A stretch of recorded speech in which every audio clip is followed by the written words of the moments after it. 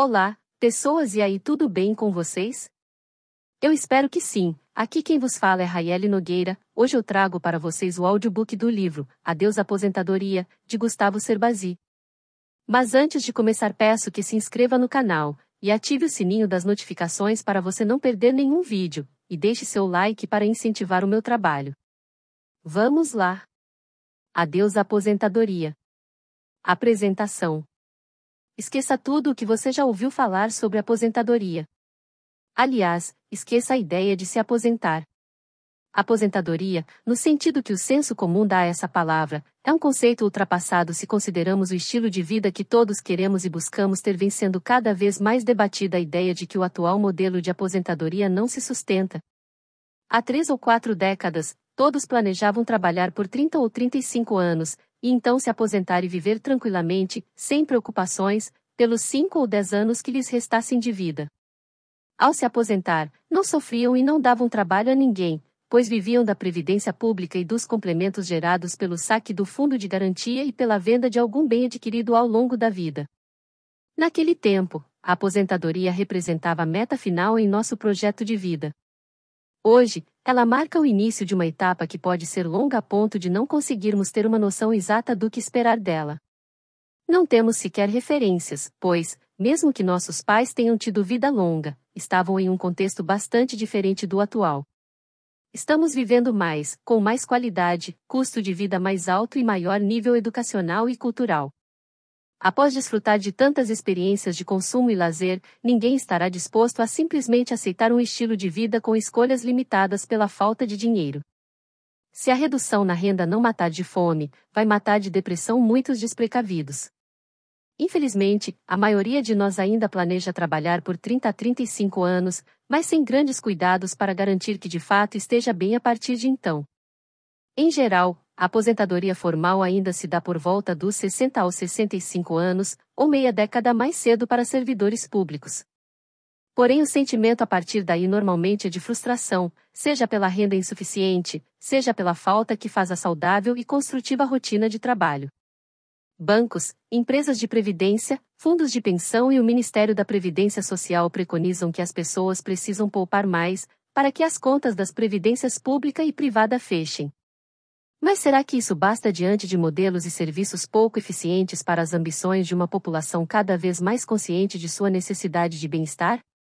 Poupar mais resolve o problema, ou amanhã seremos levados a fazer ainda mais esforço?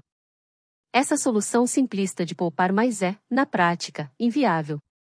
O Brasil vive hoje seu período de bônus demográfico, a fase histórica em que, dentro do processo de envelhecimento da população, a maior parte dos habitantes do país se encontra na fase produtiva, gerando renda e contribuindo para a previdência. Nessa fase, o país deveria estar investindo maciçamente em infraestrutura e melhorias na educação e na qualidade de vida da população, além de criando reservas extras para a previdência pública. Não está. Tanto o governo quanto as pessoas e as empresas estão torrando os ganhos extras dessa fase. A corrupção e o oportunismo, que drenam dos cofres públicos e privados os recursos que deveriam se transformar em investimentos, nunca estiveram tão evidentes. Nos próximos anos, gastaremos cada vez mais com saúde, segurança, educação privada e impostos. É impraticável, neste modelo, imaginar que as famílias possam aumentar consideravelmente seu esforço de poupança.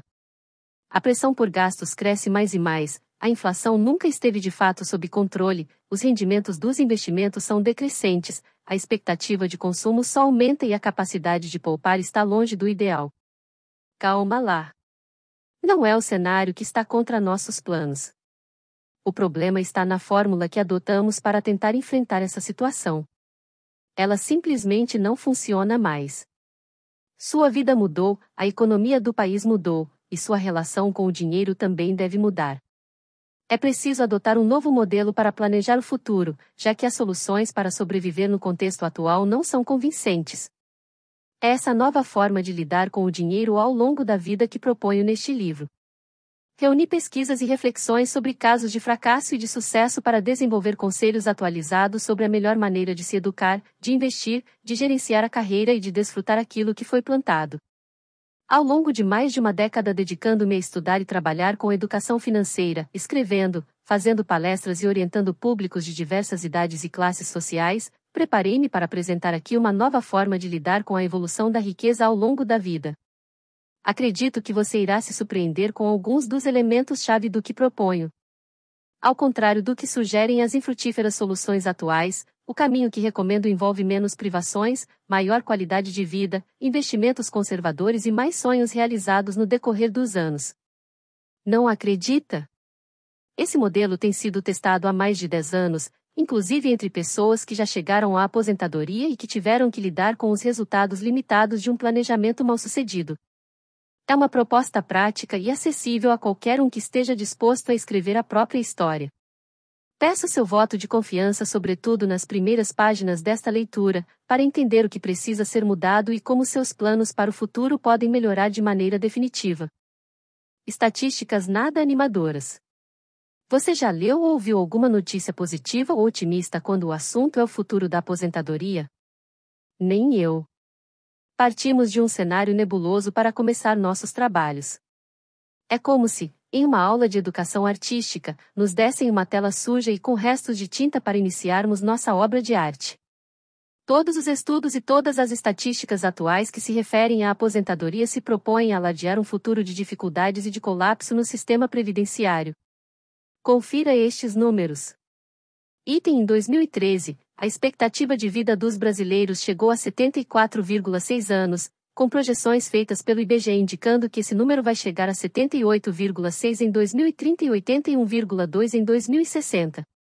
Item as pessoas com mais de 65 anos correspondiam, em 2013, a 7,4% da população, e as estimativas, também do IBGE, indicam que em 2030 serão 11,7% e em 2060, 26,7%.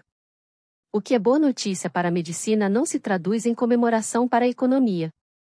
A população vem envelhecendo na medida em que cai o número de filhos por família. Mais gente para desfrutar, menos para contribuir. São mais pessoas esperando depender de um sistema previdenciário que não funciona bem já para os aposentados de hoje. Item em 2013, havia no Brasil 46 dependentes, jovens e aposentados sem trabalhar, para cada 100 pessoas ativas. Essa relação é chamada de taxa de dependência, que no caso do Brasil está em 46%. Segundo estimativa do Banco de Investimentos JP Morgan, essa taxa cairá para 43% até 2022, e então começará a se elevar até que, em 2041, o número de dependentes supere o de pessoas ativas, com a taxa de dependência passando de 50%. No mundo, a média da taxa de dependência de todos os países em 2013 era de 63,3%. Ver gráfico em PDF ou Kindle. A hora de fazer algo é agora. Estamos vivendo, no Brasil, o período histórico chamado, em economês, de bônus demográfico. À medida que a população fica em média menos jovem, o número de pessoas que trabalham supera o número de inativos. Essa fase marca o período em que o país deixou de ter uma população predominantemente jovem e inativa para ter a maior parte de seus habitantes trabalhando, antes de a população passar a ser predominantemente idosa e inativa, como aconteceu em muitos países hoje desenvolvidos. Essa inversão acontece em razão da diminuição do número de filhos por família e do aumento da expectativa de vida. As famílias têm menos filhos, mas estes vivem mais do que seus pais e avós. Economistas de todas as linhas filosóficas estão fazendo o seguinte alerta: nessa fase, que costuma acontecer apenas uma vez na história de qualquer país, deveríamos estar acumulando poupança em ritmo acelerado e investindo fortemente em infraestrutura para garantir que as próximas gerações não sofram com restrições na renda e na qualidade de vida. Pare e reflita por alguns segundos. Você acredita que o que está sendo feito no Brasil é suficiente para o bem-estar das futuras gerações? O prazo para aproveitarmos o bônus demográfico vai até 2041, mas até lá teríamos que aprender a poupar e a planejar com visão de longo prazo. Se não fizemos isso em 500 anos de história, quais as chances de conseguirmos virar o jogo a nosso favor? Item segundo medição apurada pelo Banco Central do Brasil, o PIB per capita do Brasil evoluiu de 2.861 dólares em 2002 para 10.350 dólares em 2013. O PIB per capita é calculado dividindo-se toda a riqueza gerada no país pelo número de habitantes. Mesmo sendo o Brasil um país caracterizado pela desigualdade social e de renda, podemos deduzir pelo indicador citado anteriormente que, em média, cada brasileiro ficou quatro vezes mais rico em 10 anos, com a conta feita já em moeda forte, dólares americanos. Em outras palavras, mesmo que a renda familiar não tenha acompanhado essa evolução, os brasileiros estão consumindo mais e, em muitos casos, com o questionável subsídio que o governo dá ao usar a arrecadação dos mais ricos para prover benefícios aos mais pobres. Analisando no momento presente ou, como se diz em economia, no curto prazo, essa notícia é muito boa. Mas, pensando nos anos que vêm pela frente ou no longo prazo, estamos rascunhando hoje os planos de uma frustração generalizada para os últimos anos de vida de nossa população. Antes, a maioria das pessoas consumia pouco e contava tranquilamente com a baixa renda da Previdência Pública para manter o seu simplório estilo de vida até seus últimos dias. Mas, ao aprender a consumir mais e melhor, estamos criando para o futuro uma conta alta e impossível de ser paga pelo atual modelo. Nesse contexto, inevitavelmente iremos sofrer para abrir mão de um estilo de vida que conquistamos e que não cuidamos para que fosse sustentável. Mais sofrimento e depressão induzem a mais problemas de saúde, o que acaba por encarecer nossos já previsíveis gastos altos com saúde. Será que podemos mesmo comemorar os anos a mais de vida que o conhecimento e a medicina estão nos trazendo? A ilusão dos números. Digamos que você se conscientizou, há alguns anos, dos riscos criados pelas estatísticas que descrevi até agora. Ciente de que vai viver mais e depender de uma renda maior, você está poupando mais intensamente do que todos os seus conhecidos. Contratou um plano de previdência privada, está comprando pequenos imóveis além da casa própria que vem pagando e ainda faz algumas reservas para emergências, para não ter que dilapidar seus investimentos para o futuro. Mesmo com todos esses cuidados, você pode ser surpreendido pela renda insuficiente para uma aposentadoria confortável, caso esteja se esquecendo dos perigosos efeitos da inflação em seus planos. Em geral, são cometidos dois tipos de erro em relação à corrosão que a inflação causa em seu patrimônio. 1. Um, metas matematicamente objetivas, mas sem a devida correção. Meu objetivo é me aposentar com um patrimônio de 2 milhões de reais, e espero conseguir isso dentro de 10 anos. Essa reflexão é muito comum entre aqueles que afirmam que estão zelando pelo próprio futuro, e induz a uma perigosa armadilha.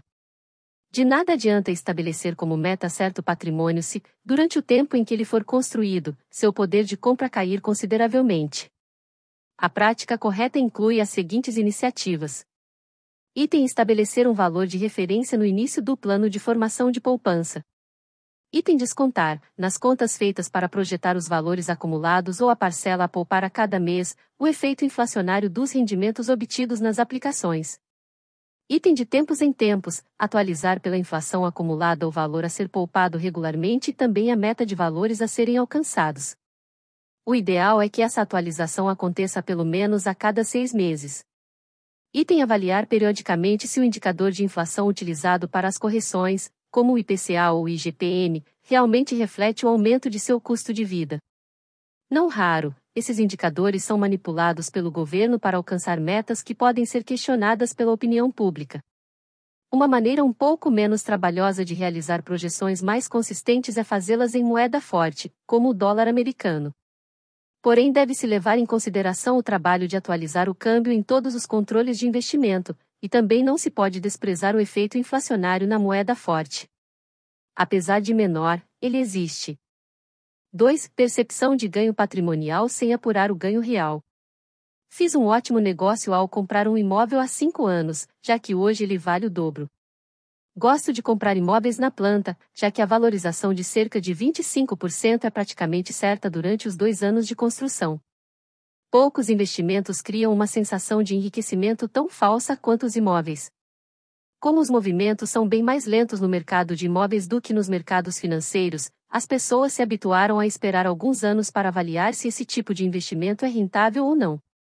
Mas, na prática, a quase totalidade dos investidores se recusa a reconhecer seus erros e pontos fracos e costuma superestimar os ganhos.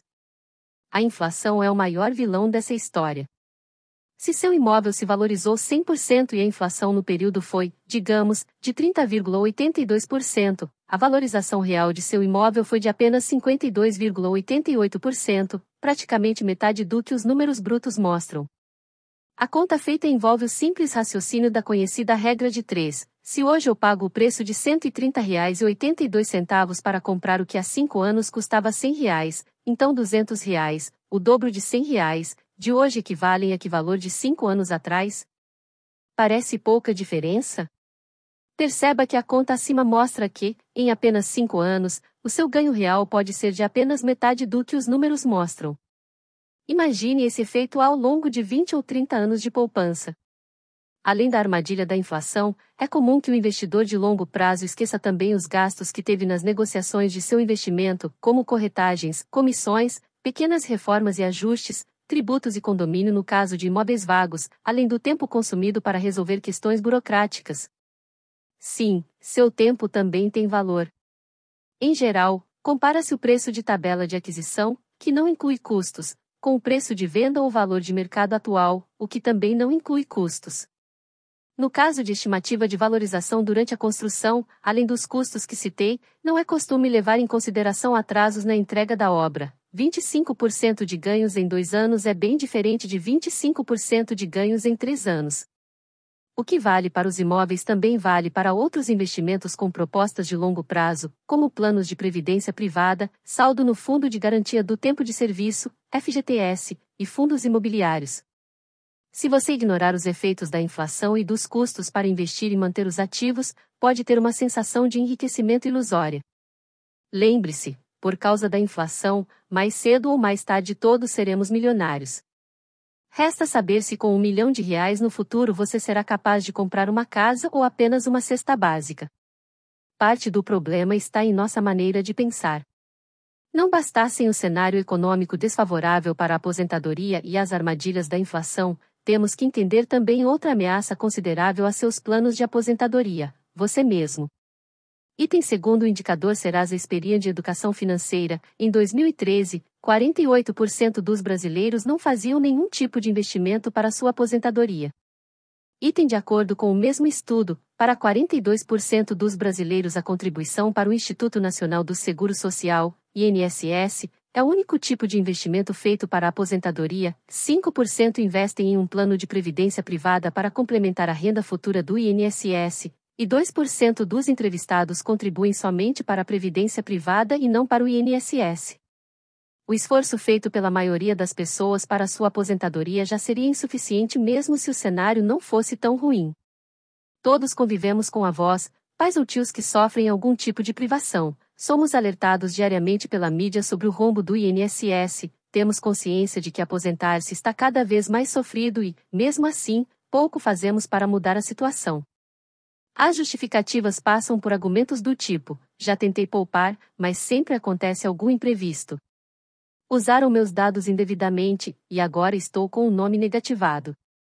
Preciso resolver isso antes de pensar em poupar.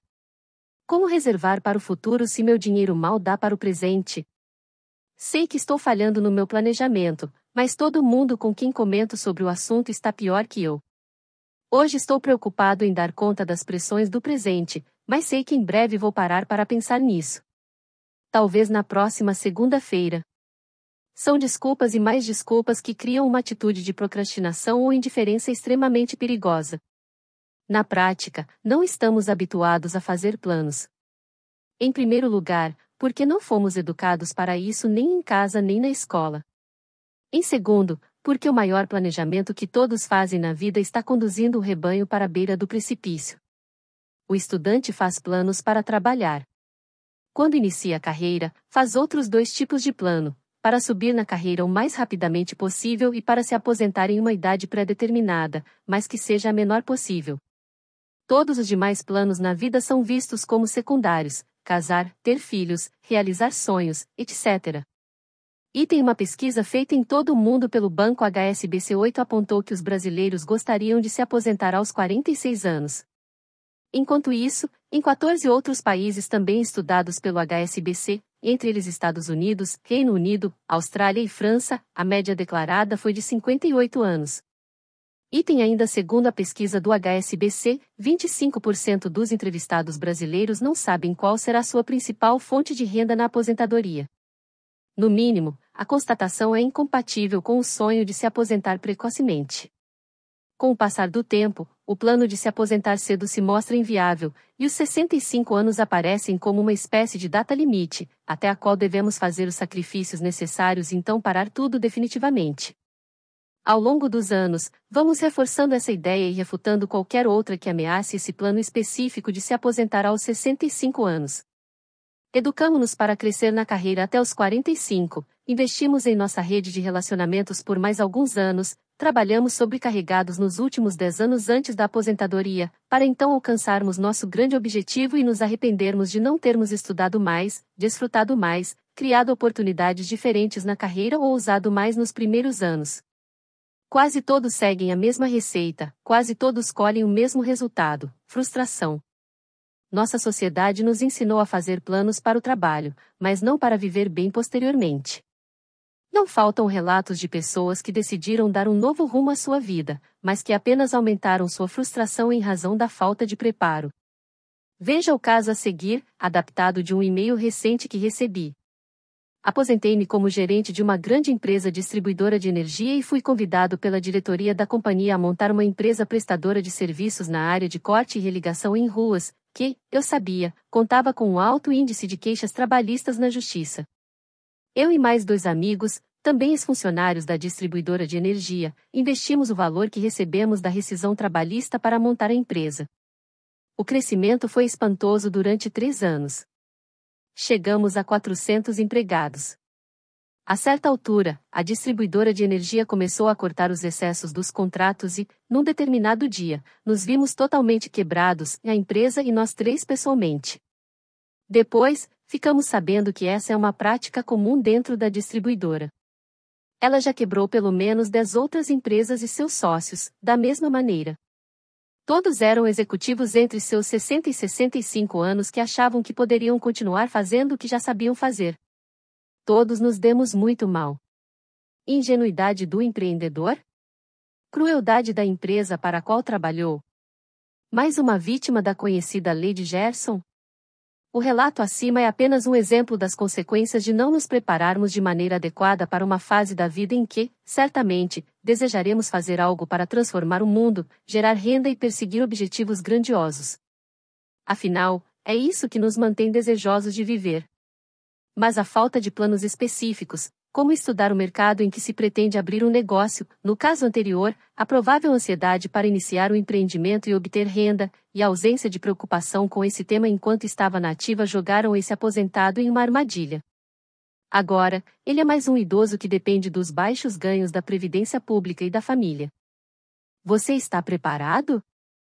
Não importa qual seja a sua idade, os planos para o que você fará quando atingir a idade em que a maioria estiver se aposentando deveriam ter feito parte de suas reflexões desde o momento em que você escolheu sua profissão. Mas nosso modelo educacional não provoca reflexões de prazo tão longo. Algumas pessoas até realizam, parcialmente, esse tipo de planejamento quando optam por um concurso público ou decidem seguir a carreira esportiva. Sem dúvida, um atleta tem consciência de que não poderá se dar ao luxo de descansar quando se aposentar do esporte aos 35 ou 40 anos. Mas, independentemente da carreira e dos caminhos que você escolheu, é provável que esteja sendo otimista demais ao contar com uma forcinha do acaso para as coisas não acontecerem em sua vida como acontecem para mais de 95% das pessoas. As perguntas a seguir foram elaboradas para pessoas de quaisquer idade e situação financeira e vão avaliar até que ponto você está preparado para esta fase que se convencionou chamar de aposentadoria. Reflita cuidadosamente antes de dar suas respostas. 1. Um, ao pensar sobre sua aposentadoria, você se sente confiante e não desconfortável? Sim, não. 2. Você possui um controle detalhado de suas finanças atuais? Sim, não. 3. Mesmo que já seja aposentado, você poupa regularmente parte de sua renda? Sim, não. 4. O patrimônio ideal, PI, para você agora equivale a 10% do gasto anual da família vezes a sua idade.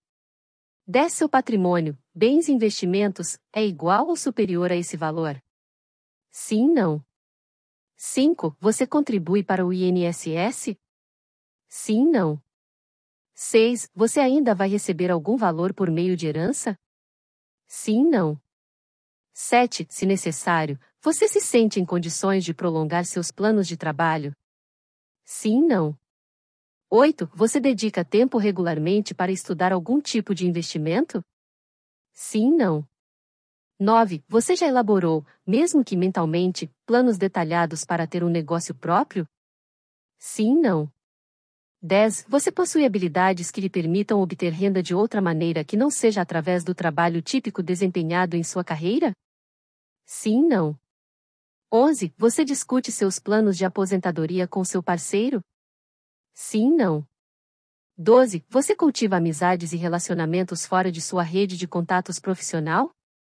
Sim, não. 13. A rotina de família é tão ou mais confortável e agradável do que a rotina de trabalho? Sim, não. 14. Independentemente do custo financeiro, seu plano de saúde atual poderá ser mantido se você deixar de trabalhar? Sim, não. 15. Você tem planos claros e objetivos para a vida que deseja levar quando parar de trabalhar? Sim, não. Para sua autoavaliação, some o número de respostas afirmativas. Se você teve até cinco respostas afirmativas, a aposentadoria não é ainda sequer um conceito viável em seus planos, quanto mais a ideia de liberdade. Você está completamente amarrado ao trabalho para se manter por muitos anos, o que é uma ameaça a seu bem-estar.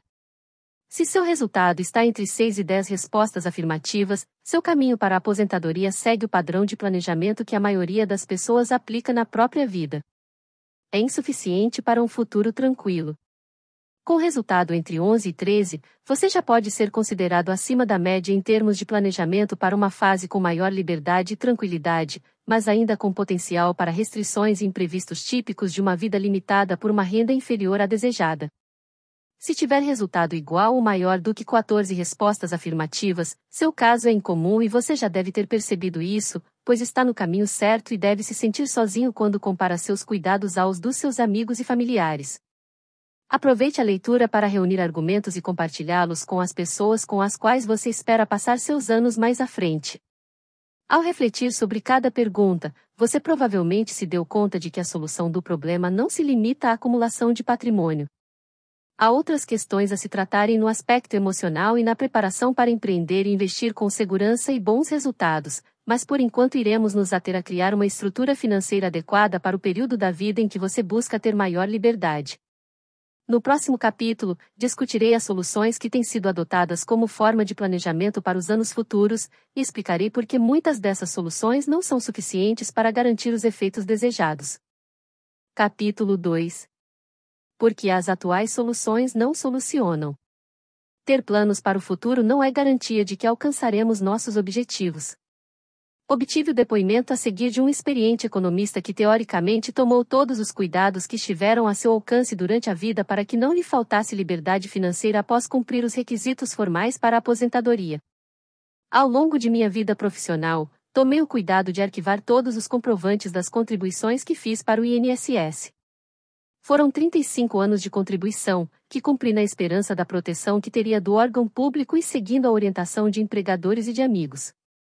Ao dar entrada em meu processo de aposentadoria, senti-me bastante incomodado com a extensa relação de exigências impostas pela burocracia do INSS.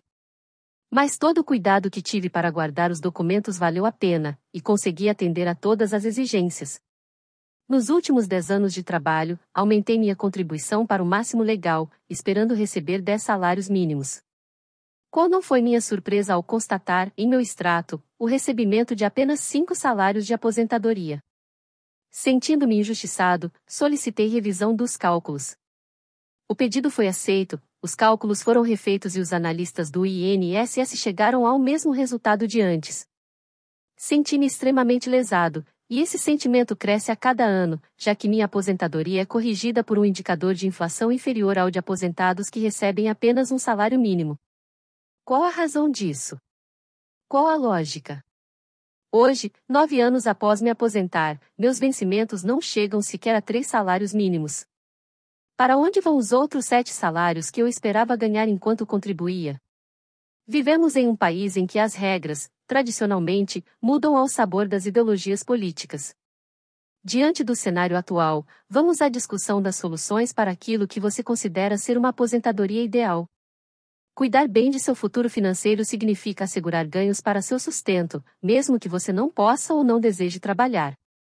Para conseguir isso, você precisa de uma ou mais das seguintes soluções. Item poupar regularmente e acumular um patrimônio significativo e que lhe gere uma renda maior do que espera consumir. Item acumular conhecimentos e diferenciais que façam de você um profissional muito solicitado e com potencial para exercer diversas atividades, a ponto de poder selecionar o que lhe interessa. Item criar fontes de renda que não dependam de você, como direitos autorais, royalties ou negócios que funcionem sem intervenção significativa de sua parte. De certa maneira, todos que são minimamente conscientes do problema sabem que as soluções são essas. No entanto, os caminhos que as pessoas do mundo inteiro se habituaram a seguir para edificar suas aposentadorias estão conduzindo-as para dificuldades nunca antes vivenciadas na história.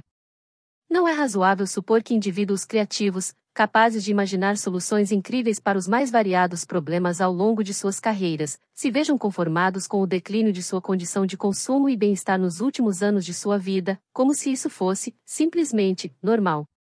O planejamento da aposentadoria, da maneira que é feito hoje pela quase totalidade das pessoas, tornou-se nada além de um exercício de procrastinação. Essa postura diante do futuro as conduzirá ao mesmo resultado, a impotente falta de escolhas diante das forças da economia. Para que você entenda os motivos por trás de tanta frustração, relacionei as estratégias mais comuns adotadas no planejamento da aposentadoria. O objetivo aqui não é invalidá-las, mas sim apontar os principais riscos aos quais devemos atentar na busca por uma saída mais eficiente.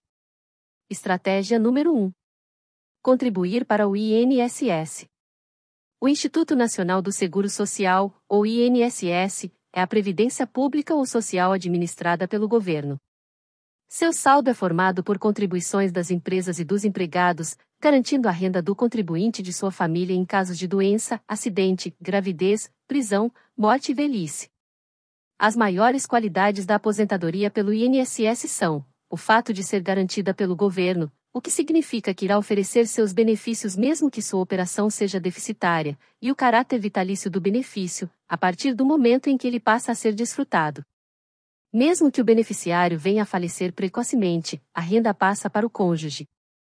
Se este também falecer logo, a verba é direcionada para os filhos até os 18 anos, ou até os 21, se os jovens estiverem na faculdade. Além disso, o benefício é isento de imposto de renda a partir dos 65 anos. Todas as pessoas deveriam contribuir para o INSS, a não ser que seu planejamento financeiro inclua um pacote completo de investimentos para a previdência, um planejamento sucessório detalhado e uma contratação de seguros para proteger as posses e a integridade da família diante de diversos tipos de imprevistos.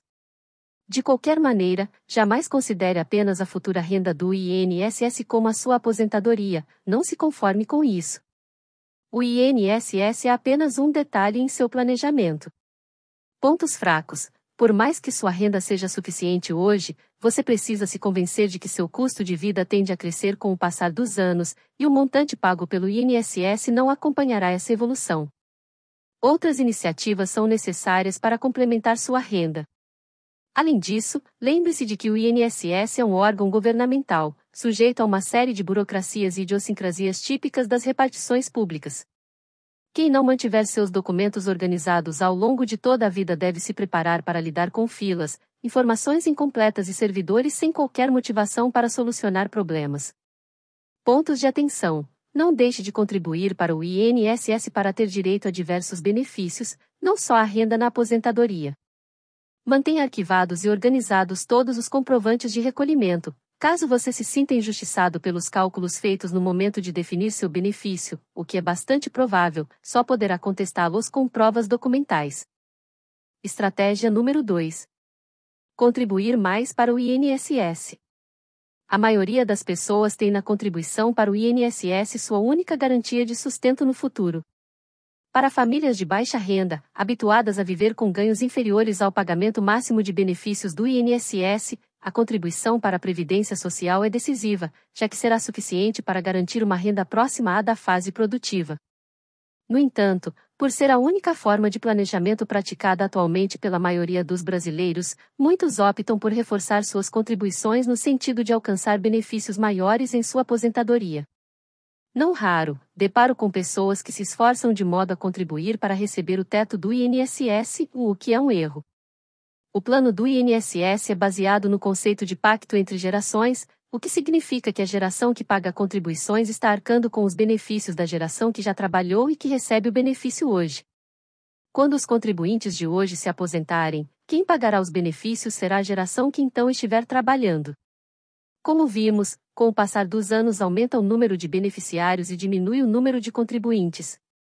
A tendência é que o benefício seja reduzido cada vez mais, e isso já vem sendo feito de várias maneiras: aumento da idade mínima para se aposentar, correção do benefício abaixo da inflação, aumento do fator previdenciário, criação de um tributo sobre aposentadorias e pensões e aumento do teto de contribuição.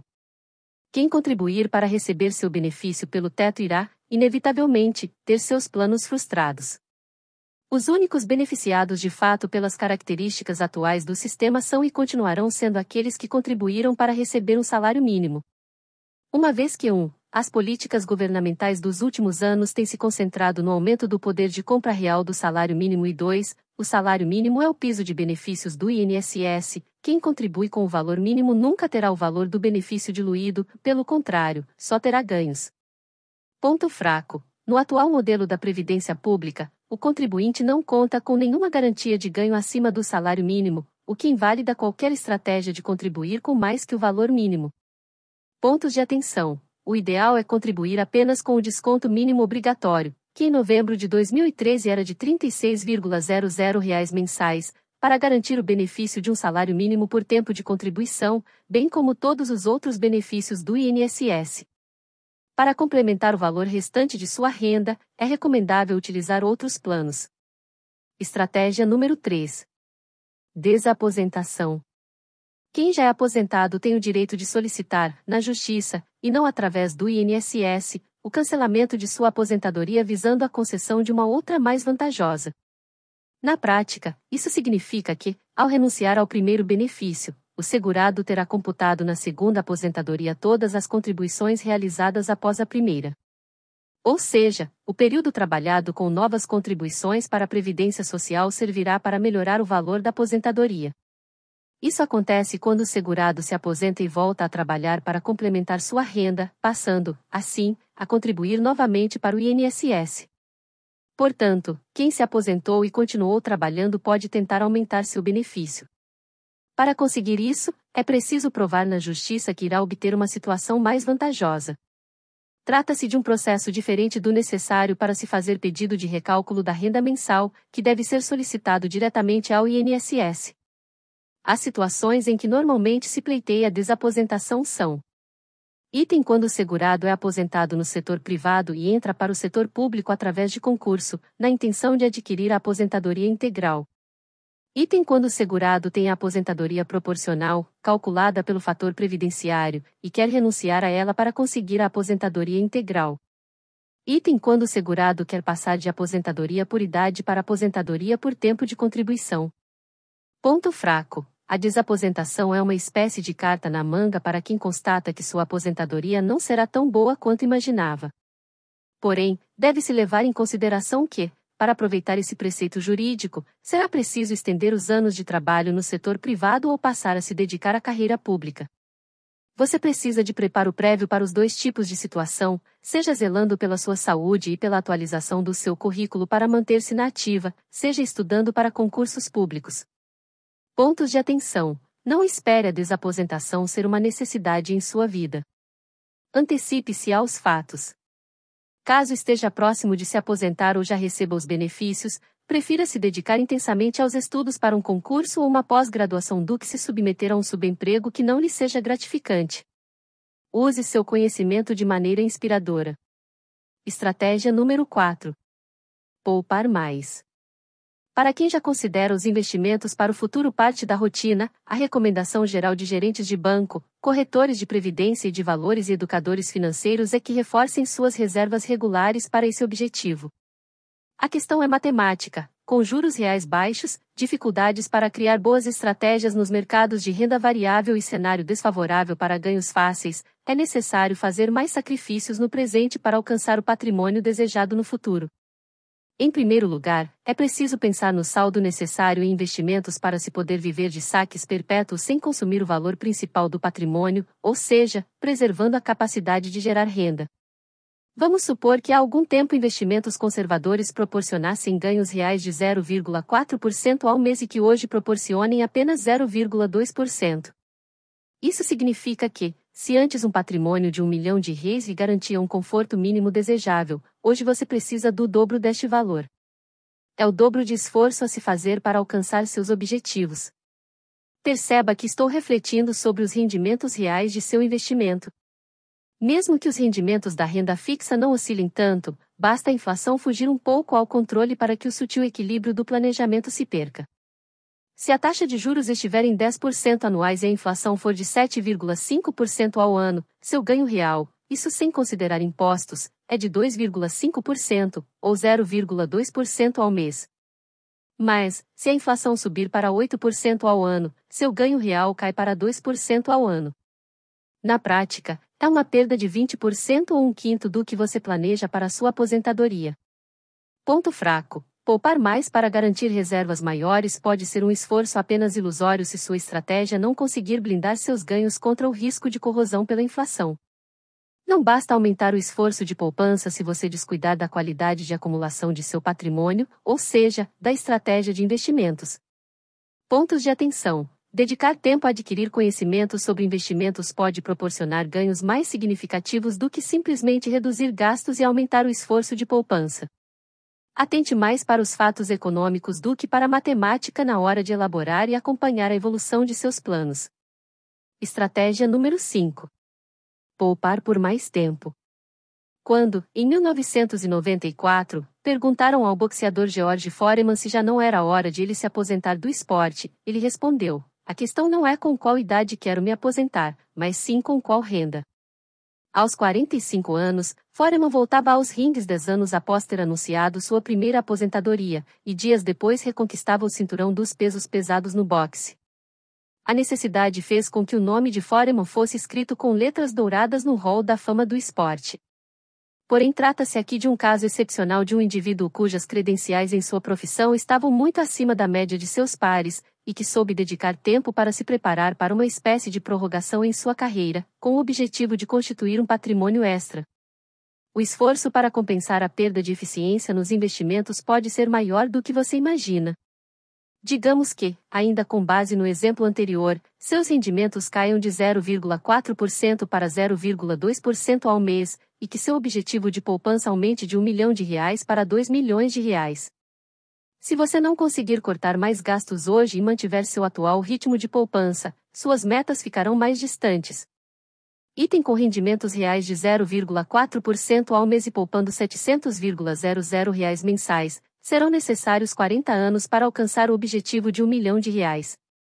Item se os ganhos reais caírem para 0,2% ao mês e você continuar poupando 700,00 reais mensais, demorará 56 anos para formar um patrimônio de 1 milhão de reais, ou 79 anos para alcançar 2 milhões de reais.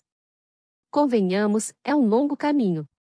Como no caso da desaposentação, pouco adiantará você acreditar que conseguirá trabalhar por mais tempo se hoje viver sem qualidade de vida e sem cuidados com a saúde que façam dessa uma jornada mais longa e prazerosa. Ponto fraco: esse tempo adicional talvez não seja suficiente. E, se for, a falta de cuidados com os diversos aspectos da qualidade de vida pode transformar esse esforço a mais em um sacrifício excessivo, ou impedir que se aproveite a colheita do que será plantado. Pontos de atenção: cuide bem de sua saúde física e mental. Esticar a duração da carreira profissional e o esforço de poupança pode não ser um problema se sua vida estiver em equilíbrio. Estratégia número 6. Começar mais cedo. Se um prazo maior de poupança nos permite alcançar condições melhores de aposentadoria, nada seria mais sensato do que iniciar o planejamento da aposentadoria desde cedo, nos primeiros passos da carreira profissional. Se cada um entendesse que todo o dinheiro ganho com o trabalho ou com os negócios deve ter uma parte reservada para o futuro, provavelmente previdência e crédito não seriam temas tão preocupantes nas finanças das famílias. No entanto, alcançar essa percepção não depende de reflexões lógicas, mas sim de fatores emocionais. Já é difícil convencer qualquer pessoa a abrir mão de algo que possa consumir no presente para poder consumir no futuro. Para os jovens, o desafio é ainda maior. Nossa renda tende a ser crescente ao longo da carreira, e por isso cabe aos jovens a condição de maior restrição financeira. Como poupar, se os ganhos não são suficientes sequer para consumir as mais básicas das necessidades? Um fator importante que influencia nossas escolhas é a recompensa que obtemos delas. Como os mais jovens priorizam recompensas imediatas, que advêm do prazer de se vestir bem, de frequentar baladas e do consumo em geral, nada é tão pouco recompensador quanto os magros ganhos obtidos pelos poucos investimentos que são capazes de fazer. Isso gera um desestímulo à poupança. Não bastasse terem que economizar, precisam fazê-lo mais intensamente para vencer certa inércia inicial. Só com mais dinheiro poupado é que perceberiam um volume significativo de ganhos. Ou seja, para termos a sensação de que vale a pena poupar, no início de nossos planos devemos ampliar esse esforço. Lembremos também que os mais jovens estão em busca de aceitação em seus grupos e na sociedade.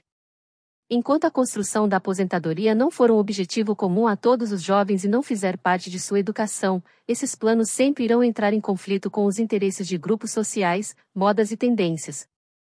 Em sociedades latinas como a brasileira, a aparência conta muito, e ostentar bens da moda é sinônimo de status. Viver o presente, carpe diem, não é uma busca individual, mas uma pressão coletiva. Nesse contexto, criar uma nova cultura econômica é difícil, ainda mais quando se sabe que os sacrifícios só darão resultados dali a muitos anos. Pontos fracos: a sedução do consumo não é uma fraqueza individual, e sim um vício social. Quem consome além de seus limites está, em geral, sendo estimulado pelo reconhecimento que esse consumo traz. Estimular o planejamento precoce para um equilíbrio econômico mais inteligente começa por uma discussão sobre o papel do consumo no presente. Enquanto o consumismo for um fenômeno social, a poupança precoce não será uma escolha unânime entre os mais jovens. Além disso, os poucos rendimentos obtidos com a pequena poupança viável para essa faixa etária oferecem um estímulo bastante inferior ao que qualquer ato de consumo acarreta. O início do processo de poupança é realmente difícil. Pontos de atenção: a conscientização deve ser preferencialmente coletiva, envolvendo grupos e redes sociais os esforços para poupar surtirão efeitos melhores se, ao menos durante curtos períodos de tempo, os mais jovens conseguirem reservar parcelas maiores de seus ganhos, visando criar uma massa multiplicadora nos investimentos que garanta resultados visíveis desde cedo. Estratégia número 7. Contar com um plano de previdência patrocinado ou corporativo. Nenhum produto financeiro criado para planejar a aposentadoria é tão eficiente na construção de patrimônio quanto os chamados planos patrocinados ou planos empresariais.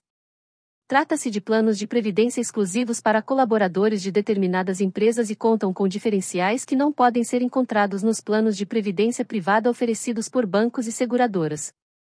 Esse tipo de plano não cobra taxas de carregamento, a mordida que os planos de previdência dão no momento em que fazemos cada aplicação, e a taxa de administração, quando cobrada, é irrisória em comparação com as taxas típicas de PGBLS e VGBLS. Além disso, normalmente as empresas oferecem uma contrapartida para cada real aplicado por seu colaborador e, em geral, um real para cada um real que aplicamos, daí os planos serem chamados de patrocinados. Na prática, isso significa um rendimento imediato e sem risco de 100% sobre o aporte, além dos ganhos futuros que incidirão sobre todo o valor aplicado. Esse patrocínio é tão lucrativo que as empresas estabelecem um limite para a contrapartida, normalmente próximo de 5% do salário. Se você aplicar 5% de seu salário, será como se estivesse comprando um aumento de 5%, já que a empresa aplicará o mesmo valor em seu plano. Planos patrocinados são vantajosos ainda que você queira aplicar um valor maior do que aquele que recebe a contrapartida, uma vez que seus custos são inferiores aos dos demais produtos de previdência e sua estratégia de investimentos é adequada a longo prazo. Obviamente, não há almoço grátis nessa história. As empresas patrocinam seus planos de previdência com o objetivo de fidelizar seus colaboradores.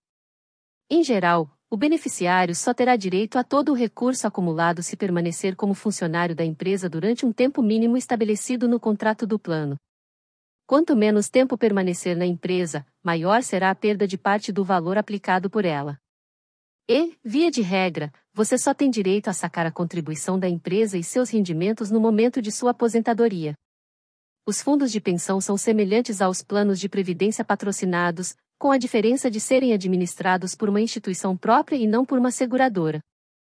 Pontos fracos: As reservas formadas em planos patrocinados só podem ser sacadas no momento da aposentadoria, se o saque ocorre antes disso, o beneficiário perde a contrapartida da empresa. Portanto, não se pode contar com essas reservas para emergências. Além disso, os benefícios limitam-se à aposentadoria e, às vezes, à pensão dos dependentes. Benefícios como auxílio-doença, aposentadoria por invalidez e salário-maternidade são exclusivos do INSS. Pontos de atenção: por serem vantajosos, planos patrocinados devem ser contratados pela contribuição máxima quanto antes, assim que você é admitido na empresa. No entanto, como os benefícios integrais só podem ser sacados na aposentadoria e mediante solicitação do beneficiário, são frequentes os casos de pessoas que se esquecem de suas reservas feitas nesses planos, pelo fato de terem mudado de empresa há muitos anos. Guarde, portanto, a documentação completa do plano, incluindo regulamento, proposta e comprovantes de saldos. Na dúvida sobre regulamentos, consulte sempre a SUSEP ou a Previc. E lembre-se de que o resgate antecipado acarreta a perda do valor, um opte sempre pelo benefício na aposentadoria. Estratégia número 8. Contratar um plano de previdência privada ou individual. A opção por um plano de previdência privada do tipo PGBL ou VGBL é sempre feita por meio de um corretor de seguros, mesmo quando oferecida por seu gerente de banco. Em teoria, equivale à contratação de um pacote de serviços que inclui o gerenciamento de uma carteira de investimentos e o planejamento para formar patrimônio e minimizar o pagamento de impostos. Na prática, são produtos que perdem uma parcela significativa de seu desempenho por conta das taxas elevadas cobradas do investidor, que raramente sabe identificar esses custos.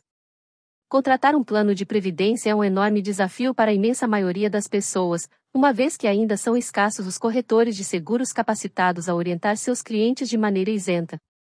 Como são planos modelados para serem conduzidos por décadas, uma má escolha pode resultar em um patrimônio muito inferior ao que resultaria de um produto escolhido de maneira adequada.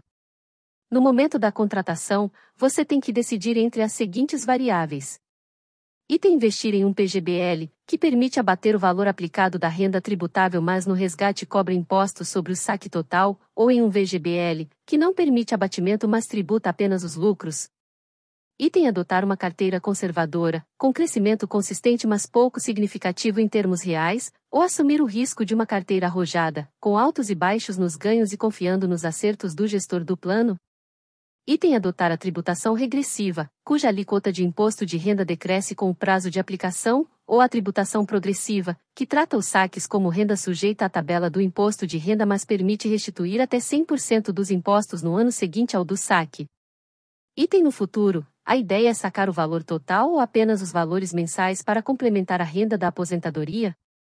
A resposta a essa pergunta ajuda a decidir qual o regime ideal de tributação progressiva ou regressiva. Em geral, na contratação do plano sugere-se que o beneficiário opte por um mecanismo automático de contribuição, como débito em conta corrente ou boleto, o que fortalece a disciplina na construção do patrimônio. As reservas feitas são individuais, ou seja, a cada aplicação o beneficiário adquire cotas de um fundo de previdência que investe em títulos públicos e ações, dependendo do perfil de risco do plano, e essas cotas são do beneficiário e de mais ninguém. Na prática, ele é dono de uma carteira de títulos e ações, e os rendimentos de seu plano dependerão do sucesso dessa carteira.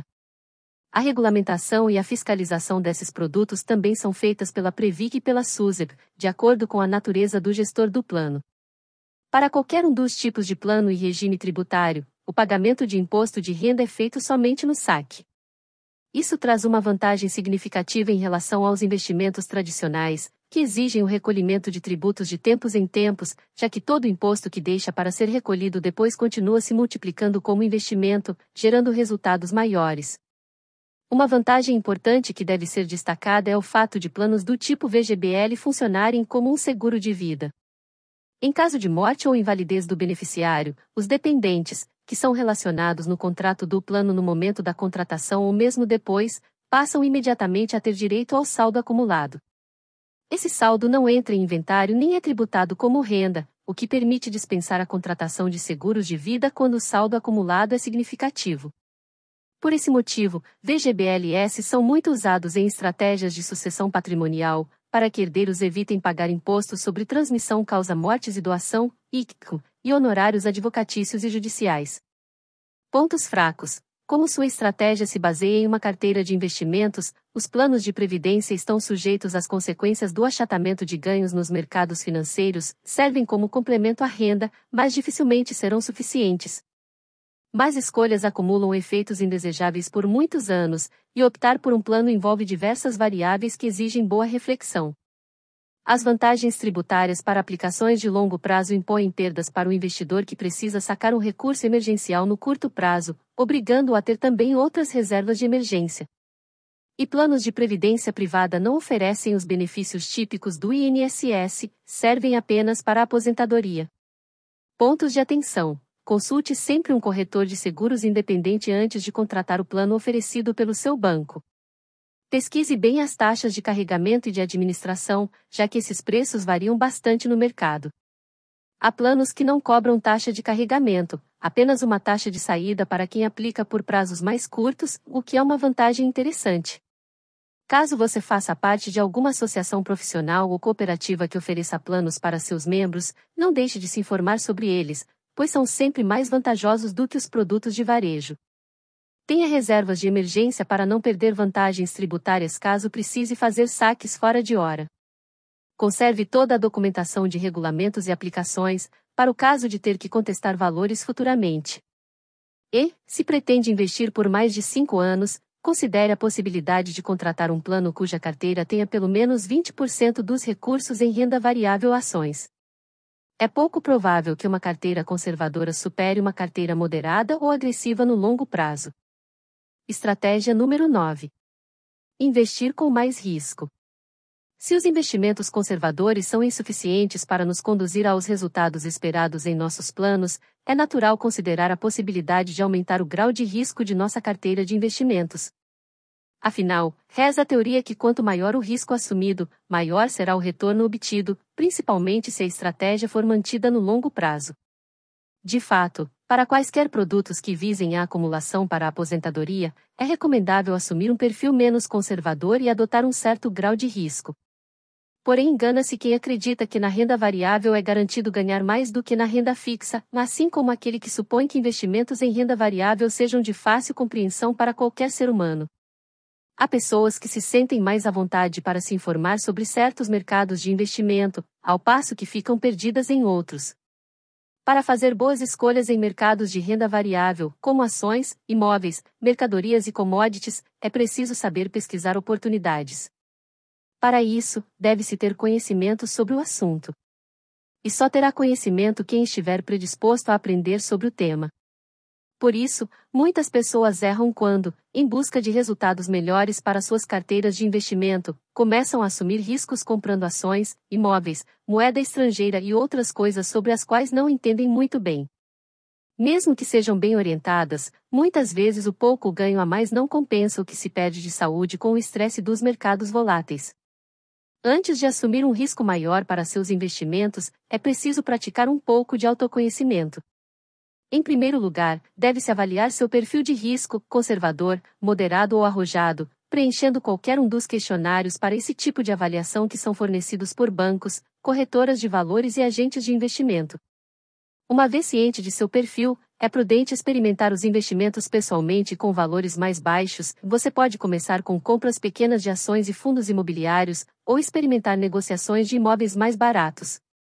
Algumas pessoas se sentem bem ao se envolver com os mercados, enquanto outras ficam confusas e desamparadas e precisarão contar com o suporte de especialistas para gerir sua carteira, administrar seus fundos ou escolher o plano de previdência mais adequado.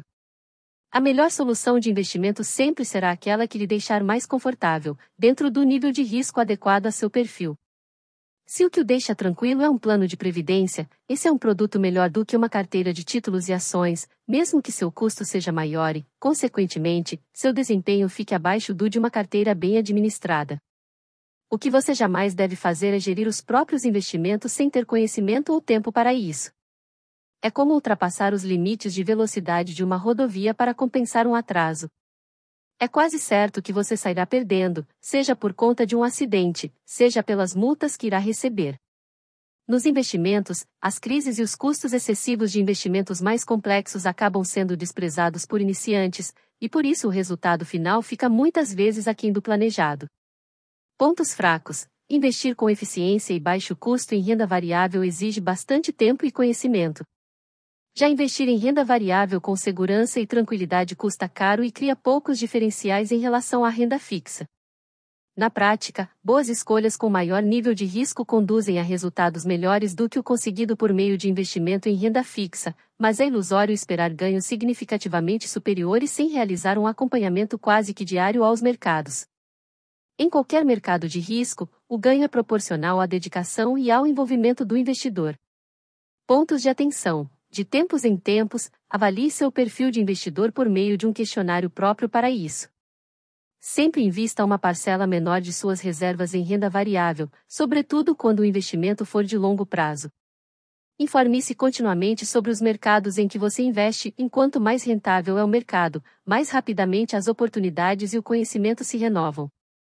E conte sempre com uma significativa reserva em renda fixa. Além de dar solidez a seu patrimônio, é dela que saem os recursos quando você identifica uma boa oportunidade na renda variável. Estratégia número 10. Trabalhar para sempre. Gosto do que faço. Não penso em parar. Essa é a desculpa que muitos arranjam para negligenciar os cuidados necessários com o futuro. Provavelmente, é uma reflexão sincera, pois acredito que há muitas pessoas, tal como eu, que são apaixonadas por seu trabalho. Mas não é à toa que existe o conceito de aposentadoria. Por mais que você goste de seu trabalho, em algum momento seu corpo vai pedir uma trégua. Você terá dois caminhos: gastar muito dinheiro com cuidados pessoais ou diminuir o ritmo de trabalho. Para gastar mais, terá que ganhar mais. Nessa fase da vida, você começa a competir com o conhecimento renovado e o custo menor da mão de obra mais jovem. Esse é o momento em que, ainda que você queira continuar a trabalhar, o mercado já não irá lhe pagar o preço que você considera justo. Mesmo que não desista do trabalho, o trabalho pode desistir de você. Pode ser que sua saúde e sua disposição estejam muito acima da média, mas há outros motivos que nos incentivam a diminuir o ritmo de trabalho. Amigos se aposentando, pais envelhecendo e dependendo de nosso apoio ou planos para fazer aquilo que sempre sonhamos, e que não esteja relacionado a trabalho. Caso você seja empregado de uma empresa e, mesmo com os argumentos acima, não concorde com isso, espero conseguir fazê-lo mudar de opinião após a leitura do próximo capítulo. Ponto fraco: racionalmente, trabalhar até os últimos momentos de sua vida pode ser um argumento aceitável. Mas, emocionalmente, não o é. Mesmo que você queira continuar na ativa, há vários fatores que podem impedi-lo de fazer isso. Pontos de atenção. Trabalhar para sempre por prazer até uma atitude saudável e construtiva, mas desde que você esteja mental e financeiramente tranquilo para se afastar quando bem entender e precisar. Por isso, essa estratégia não deve ser encarada como a solução para sua aposentadoria, mas sim como uma consequência de um planejamento cuidadosamente elaborado. Estratégia número 11 construir uma carreira paralela. Para minimizar os riscos de saturação do mercado ou esgotamento da carreira, detalhados na estratégia anterior, muitos profissionais se dedicam a iniciar uma atividade paralela ainda antes da aposentadoria. Dessa forma, tem uma carta na manga caso sua carreira principal comece a dar sinais de falta de opções. Com essa ideia em mente, há quem se dedique a prestar serviços fora do horário de expediente ou nos fins de semana. Outros iniciam uma faculdade ou um curso profissionalizante em outra área de que gostam, apostando que o conhecimento novo, somado à sua experiência, pode servir de diferencial no mercado de trabalho. Uma solução para a renda futura bastante comum entre profissionais liberais e muitos empregados com bom histórico educacional é se dedicar a uma carreira acadêmica, cursando um mestrado e ou um doutorado. Um diploma de pós-graduação praticamente garante emprego como professor em instituições de nível superior, que é um trabalho com agenda flexível e relativamente mais tranquilo para quem tem muita experiência prática para somar a teoria. Pontos fracos: todos devemos ir atrás de novas experiências gratificantes. O risco, porém, é nos encantarmos com a novidade e tirarmos o foco da carreira principal quando estivermos no auge em termos de cargo e salário. Pontos de atenção: Tocar duas atividades simultaneamente requer organização e disciplina para não ganharmos com a segunda atividade apenas aquilo que estamos perdendo da primeira, só que com o dobro de trabalho. E existe outro ponto importante a se considerar: a dedicação exigida para a construção de uma carreira paralela, se aplicada na construção de boas estratégias de investimento para o patrimônio acumulado, pode até render melhores frutos, como um patrimônio crescente em ritmo mais acelerado e uma agenda mais livre para desfrutar a vida após a aposentadoria da carreira principal. Estratégia número 12. Contar com o saldo no FGTS trabalhadores que estão há anos no mesmo emprego experimentam uma falsa sensação de segurança por saberem que contam com uma reserva feita por seu empregador no Fundo de Garantia do Tempo de Serviço, FGTS, uma poupança compulsória equivalente a 8% da remuneração mensal. A segurança é apenas temporária, pois, mesmo que o desempregado possa sacar uma quantia poupuda com a qual não está acostumado, é um recurso que raramente é suficiente para manter sua família por mais do que alguns meses. Aparentemente, uma reserva de 8% da renda não é pouco dinheiro, mas, como o rendimento do saldo do FGTS é de aproximadamente metade do rendimento da poupança, toda reserva feita pelo empregador cresce em ritmo inferior ao do aumento dos preços. Na prática, a inflação corrói a reserva feita nesse fundo, e o ganho sobre ganhos típico dos investimentos deixa de existir. Essa perda econômica é atenuada quando existe a possibilidade de receber do empregador um valor extra de 40% do saldo acumulado no fundo, caso a demissão seja solicitada pela empresa e sem justa causa. Porém, como não é possível saber se você vai se enquadrar nesse caso, não inclua tal estratégia nos seus planos para a aposentadoria podemos considerar que as indenizações trabalhistas e o saldo no FGTS são no máximo amenizadores da falta de planos, ou uma contribuição adicional que pode ser consumida no processo de adaptação do trabalhador a uma nova situação em sua vida. Pontos fracos. As regras de correção do saldo no FGTS fazem com que, no momento do saque, o valor real desse saldo seja inferior ao do que foi poupado. Além disso, não se pode garantir que a multa de 40% por demissão sem justa causa será recebida, um imprevisto pode causar uma demissão por justa causa ou o próprio funcionário pode precisar solicitar seu desligamento.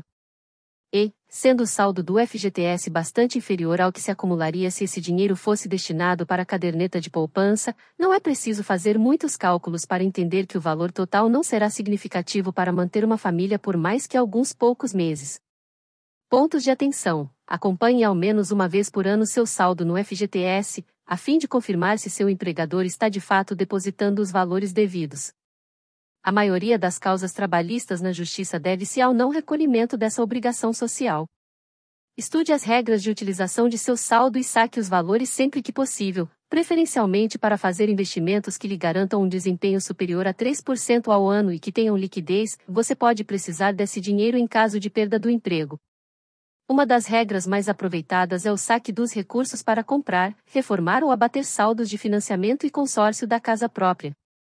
Evite sacar o saldo se, ao fazer isso, você ficar sem nenhuma reserva para emergências.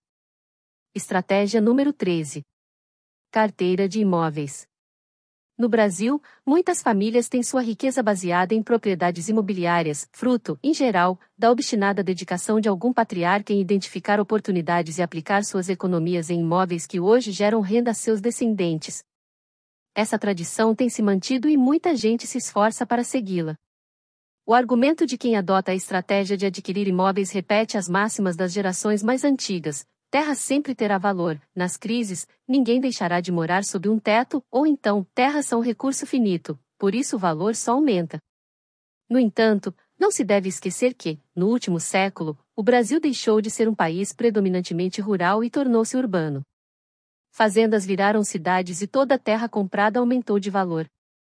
Hoje, há regiões com potencial de valorização e também outras em evidente processo de decadência. Há o risco de um imóvel comprado sem potencial de significativa valorização, diante da inflação, causar uma perda real na renda e no patrimônio. O excesso de confiança nos imóveis e o ritmo lento de transformações nesse mercado podem fazer com que um investidor demore a reconhecer que fez um mau negócio. Quando se dá conta, percebe que já não consegue vender seu bem ou que não está fácil conseguir novos inquilinos, ou que o inquilino atual não paga o aluguel nem pagará mais, e o proprietário terá que arcar com todos os custos processuais para não perder o imóvel. Sem acompanhamento contínuo, o resultado de uma carteira de imóveis é o mesmo de qualquer carteira de renda variável administrada sem conhecimento, perda certa. Pontos fracos: bons negócios com imóveis no passado não são garantia de ganhos futuros. Mesmo propriedades tradicionais e que geram renda para a família há décadas correm o risco de entrar em decadência. Aliás, quanto mais antigas, maior o risco de isso acontecer ou até de desapropriação. Uma carteira sem a devida atualização pode ter aluguéis não corrigidos pela inflação, propriedades cujo valor de venda perde da inflação e também custos e dificuldades crescentes para cobri-los. Não raro, carteiras que garantem renda familiar passam a ser vendidas para compensar a renda que deixaram de oferecer e em poucos anos são exauridas. Pontos de atenção: imóveis são apenas mais um tipo de renda variável. Exigem dedicação contínua e crescente à pesquisa de mercado, gerenciamento cuidadoso de aluguéis, tributos e manutenção, e mudanças de estratégia quando fatos novos alteram perspectivas de valor. Quanto maior a carteira, mais a administração dela deve se aproximar da de uma pequena empresa. Por isso, profissionalize-se à medida que sua carteira crescer. Estratégia número 14. Negócio de família. Poucas estratégias trazem tanta sensação de segurança financeira quanto a possibilidade de contar com um negócio próprio após o desligamento da carreira. Essa estratégia é, inclusive, um dos principais caminhos para aposentadorias precoces, juntamente com a aposentadoria do serviço público. Abrir um negócio não é uma tarefa simples, mas há diversas receitas para isso, como adquirir uma franquia ou contratar uma empresa incubadora de novos negócios e ideias. Não se pode subestimar a necessidade de grande conhecimento em administração e práticas empreendedoras, mas para adquirir esse know-how já existem iniciativas específicas, que serão tratadas adiante neste livro. Situação um pouco mais cômoda é a daqueles que fazem parte de uma família que já tem um negócio próprio, o que faz desse empreendimento uma futura herança e fonte quase garantida de renda. Nesse caso, o risco está na possibilidade de acomodação do herdeiro, que acredita não precisar ir atrás de informações e soluções para assumir e manter o negócio familiar. Pontos fracos: ter um negócio próprio é a forma mais arriscada de aplicar suas reservas. Riscos não devem ser evitados, e sim administrados, mas para administrar bem é preciso adquirir conhecimento. Por isso, a estratégia que exige maior preparação prévia dentre todas as aqui citadas é a possibilidade de assumir a condução de uma empresa. Qualquer tipo de negócio é falível, seres humanos erram, concorrentes podem tomar seu mercado, as regras de mercado ou a legislação podem mudar, e o que é um bom negócio hoje pode não ser amanhã. Pontos de atenção: Invista tempo e recursos para adquirir conhecimento, mesmo que sua família já tenha um negócio em andamento. Não conte apenas com essa empresa como solução para suas necessidades de renda. O investimento em renda variável, negócios próprios estão nessa categoria, pede diversificação. Por isso, se você já tem uma fonte de renda para o futuro, trate de criar outras. E, se não tem experiência administrativa, evite entrar no negócio familiar logo de cara. Tente antes trabalhar por algum tempo para possíveis clientes, concorrentes ou fornecedores, a fim de se preparar melhor antes de assumir sua posição de empreendedor. Estratégia número 15. Contar com uma herança. Se sua família é abastada, parabéns! Isso deve ter lhe garantido um conforto acima da média, e provavelmente experiências de vida e condições educacionais privilegiadas. E só. A herança de seus pais não deve ser tratada como um patrimônio seu. A razão é simples: essa riqueza pode não chegar a você. Inúmeras possibilidades que não estão sob seu controle podem consumir a maior parte do patrimônio nos últimos anos de vida de seus pais. Doenças e tratamentos caros, processos na justiça, problemas financeiros em negócios familiares, demora na finalização do processo de inventário e descoberta de compromissos fiscais em atraso são causas comuns de perda de grandes fortunas em pouco tempo. Obviamente, devem ser tomados todos os cuidados para se preservar o patrimônio e garantir um processo de sucessão com a menor perda possível, mas, repito, isso está nas mãos dos detentores do patrimônio, e não nas de seus herdeiros. Caso imprevistos não aconteçam, a chegada de uma herança será a oportunidade de amenizar algum sofrimento e fazer ajustes em possíveis falhas de seu plano. Pontos fracos: o sucesso da estratégia não depende de suas escolhas ou de seus cuidados. E quanto maior o patrimônio esperado, maior é a expectativa, e, consequentemente, maior é a frustração diante de um possível revés. Pontos de atenção: é mais prudente não contar com a herança, mas isso não significa que você não deva se preparar para a oportunidade de receber recursos que não estavam nos planos. Receber uma boa quantia e não ter nenhuma estratégia para ela é abrir uma brecha para escolhas ruins. Portanto, trate a possibilidade de herança como um plano B. O que você fará se receber recursos no volume que imagina que seja sua herança? E se vier metade ou o dobro? Refletir sobre esses pontos faz com que, diante da situação de sofrimento que é perder um ente querido, você não se deixe levar pela emoção ao tomar decisões. Estratégia número 16. Prestar um concurso público. Ainda quem acredite que ingressar na carreira pública por meio de concurso é o mesmo que garantir um futuro tranquilo e uma aposentadoria previsível. Supostamente, ao entrar para o rol dos servidores públicos, as pessoas adquirem um salário que só tende a aumentar e, ao se aposentar, garantem direito à renda vitalícia. Se você está entre os que acreditam nisso, talvez seja o caso de reler o capítulo anterior. Se a conta da Previdência não está fechando, não se deve acreditar que privilégios serão mantidos ou que eventuais injustiças serão corrigidas para uma situação melhor. Há tempos que os servidores públicos deixaram de ter parte importante dos privilégios de épocas atrás.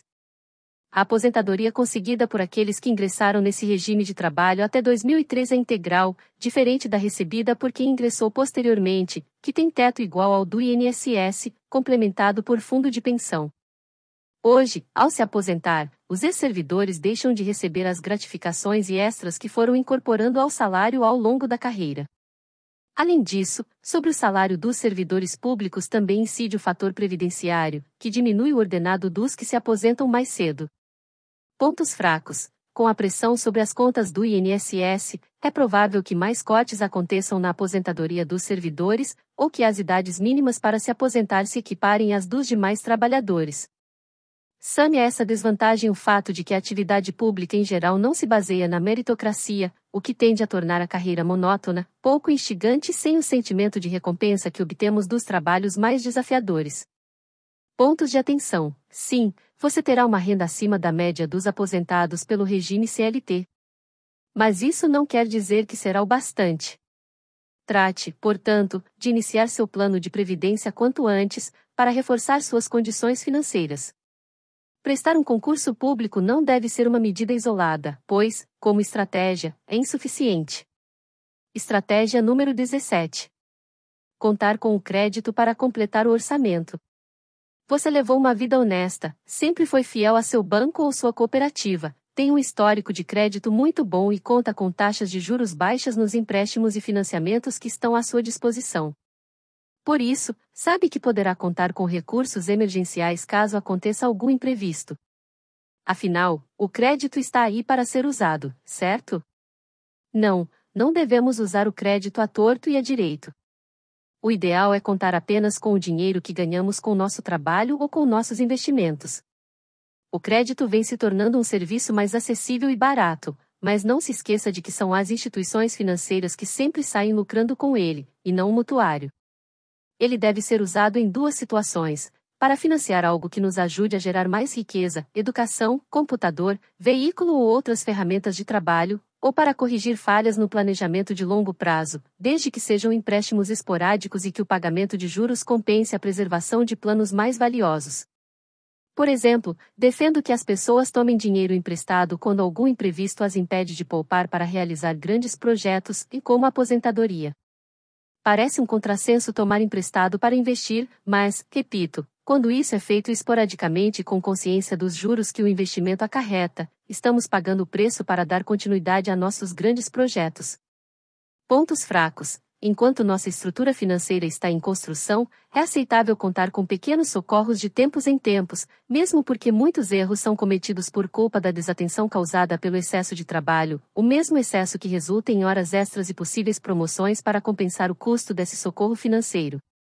Mas, uma vez que a pessoa já está aposentada, nem a hora extra nem os aumentos de salário fazem parte de seus planos. Se algum custo surgir e não couber no orçamento, a situação só tenderá a piorar caso você recorra ao crédito. Afinal, trará mais uma despesa ao orçamento, os juros. Quem deixou de trabalhar só deve recorrer ao crédito em último caso ou após um detalhado planejamento para fazer a prestação caber no orçamento. Pontos de atenção. Procure contar com o crédito apenas para situações em que você obtenha ganhos com o uso dele, por exemplo, criação de um pequeno negócio. Zele pelo seu nome, jamais o empreste a ninguém. Pesquise sempre as modalidades de crédito oferecidas por diferentes bancos e cooperativas, questione seu gerente para ter sempre as melhores condições e não hesite em trocar de instituição se a atual não lhe prestar o melhor serviço. Estratégia número 18. Reclamar e cobrar do governo. Você paga seus impostos, que não são poucos, e por isso espera que o governo o ampare nas questões de saúde e previdência, entre outras. Não pense em fazer a própria poupança, mas em protestar e cobrar ao deputado que você elegeu que batalhe por mudanças nas regras e pelo aumento de benefícios. Afinal, o governo deve retribuir os impostos que pagamos. Essa é a teoria. Funciona? Sim, na Alemanha. Devemos, de fato, brigar por nossos direitos, nos mobilizar e nos indignar com o desrespeito generalizado da classe política brasileira pelos direitos dos cidadãos. No entanto, se desde as origens deste país os interesses particulares dos governantes são privilegiados em detrimento dos do povo, a isso se dá o nome de corrupção, não creio ser sensato contar com uma mudança de rumo de uma hora para outra. Devemos nos engajar e lutar por melhorias, mas não contar com elas. Nossas necessidades serão certas, mas a conquista, não. Ao mesmo tempo que temos que exigir nossos direitos, precisamos agir para garantir por nossa conta aquilo que o Estado não provê. Pontos fracos: acreditar que uma incoerência histórica seja mudada definitivamente ainda na nossa geração e, pior, depender de que isso aconteça para dar seguimento a alguns planos. Pontos de atenção: como dizia John Kennedy, ex-presidente dos Estados Unidos, não pergunte o que seu país pode fazer por você. Pergunte o que você pode fazer por seu país. Estratégia número 19 confiar na sorte ou em probabilidades. Todas as estratégias de investimento bem-sucedidas exigem uma boa organização pessoal, consciência das necessidades de longo prazo, esforço e disciplina. São qualidades das quais carecemos, principalmente por conta da cultura de oportunismo e imediatismo tão enraizada em nosso convívio social. Same essa cultura a falta de educação para o planejamento, e o que temos é a ampla maioria da população acreditando que a única maneira de alcançar uma mudança significativa em seu patamar de renda e patrimônio é através da sorte. Isso pode ser constatado na popularidade das loterias entre os brasileiros, especialmente os de menor renda. As chances de ganhar o prêmio máximo da Mega Sena, a principal loteria do Brasil, são de 1 em 50 milhões de tentativas. É mais provável morrer atingido por um raio ou pela queda de um elevador. Mesmo assim, milhões de apostas são feitas todas as semanas por uma população que afirma não ter verba sequer para se alimentar de maneira saudável. Fazer isso não é muito diferente de optar por caminhos ilícitos para sustentar a família, como traficar drogas ou praticar assaltos. Na prática, um criminoso está apostando na probabilidade de não ser pego pelos instrumentos de combate ao crime. Nem do caso de um invasor de terras que, ao praticar a grilagem, aposta que conquistará na justiça o direito de manter para si a posse de terras pelas quais não pagou. Não sou radicalmente contra apostas ou especulações, mas abomino a ideia quando o futuro de uma pessoa ou de uma família fica à mercê do acaso ou quando o sucesso é obtido sacrificando-se a idoneidade, a ética e o coletivismo. Raciocinando matematicamente, a probabilidade de você ter muito sucesso com essa estratégia é tão pequena que, Caso você de fato consiga, sua felicidade estará diluída em anos de sofrimento, tensão e perda de saúde. Como diz a sabedoria popular, a loteria é uma espécie de imposto que incide somente sobre aqueles que são ruins de estatística. Ponto fraco: a interpretação que se obtém das probabilidades de ganho ao contar com a sorte é: você não terá sucesso. Se tiver, será exceção à regra. Por que seguir uma receita cujo resultado esperado é o fracasso? Pontos de atenção. Caso realmente acredite, por crenças pessoais ou desapego ao dinheiro que aposta, que a deusa fortuna pode se lembrar de você, prefira apostar em loterias reembolsáveis, como títulos de capitalização. Esses produtos oferecidos por bancos não passam de loteria, mas, se tudo der errado, o que é muitíssimo provável, na pior das hipóteses você terá de volta o dinheiro investido. E aposte somente valores que não farão falta em seu orçamento. Estratégia número 20. Ler um livro de finanças pessoais. Você pouco fez até agora, mas sabe que precisa tomar uma atitude. Pesquisou sobre o assunto e viu que as soluções que existem irão exigir muito esforço da sua parte. Não está disposto a isso, e encontrou um autor que costuma dar orientações financeiras reconhecidamente bem-sucedidas. Acha que encontrou uma receita pronta para começar a praticar agora, sem esforço e sem qualquer preocupação. Aqui acaba o sonho. Por mais bem intencionado que seja, nenhum autor ou livro irá mudar sua vida se, após a leitura, o conteúdo voltar para a prateleira e você retomar uma rotina que não inclui sua renda futura como prioridade. Meu propósito ao reunir reflexões, críticas e soluções é trazer a você ideias que coloquem seus planos no rumo certo. Espero realmente que suas escolhas financeiras tenham menos erros e experimentalismo, que você evite caminhos errados e que descubra quanto antes uma trajetória vencedora. Mas esse resultado depende exclusivamente de sua ação, daquilo que irá realizar ao concluir a leitura de cada capítulo que vem pela frente. Por isso, Tenha em mãos um bloco de notas para relacionar as tarefas que precisa colocar em prática daqui para frente a fim de construir um plano de sucesso. E comprometa-se com essas tarefas. Pontos fracos: boas ideias não mudam o mundo. O que transforma é a coragem de agir. Não caia no risco de ser consumido pela rotina e pela falta de tempo e de deixar de agir após cada ideia que faça sentido para você.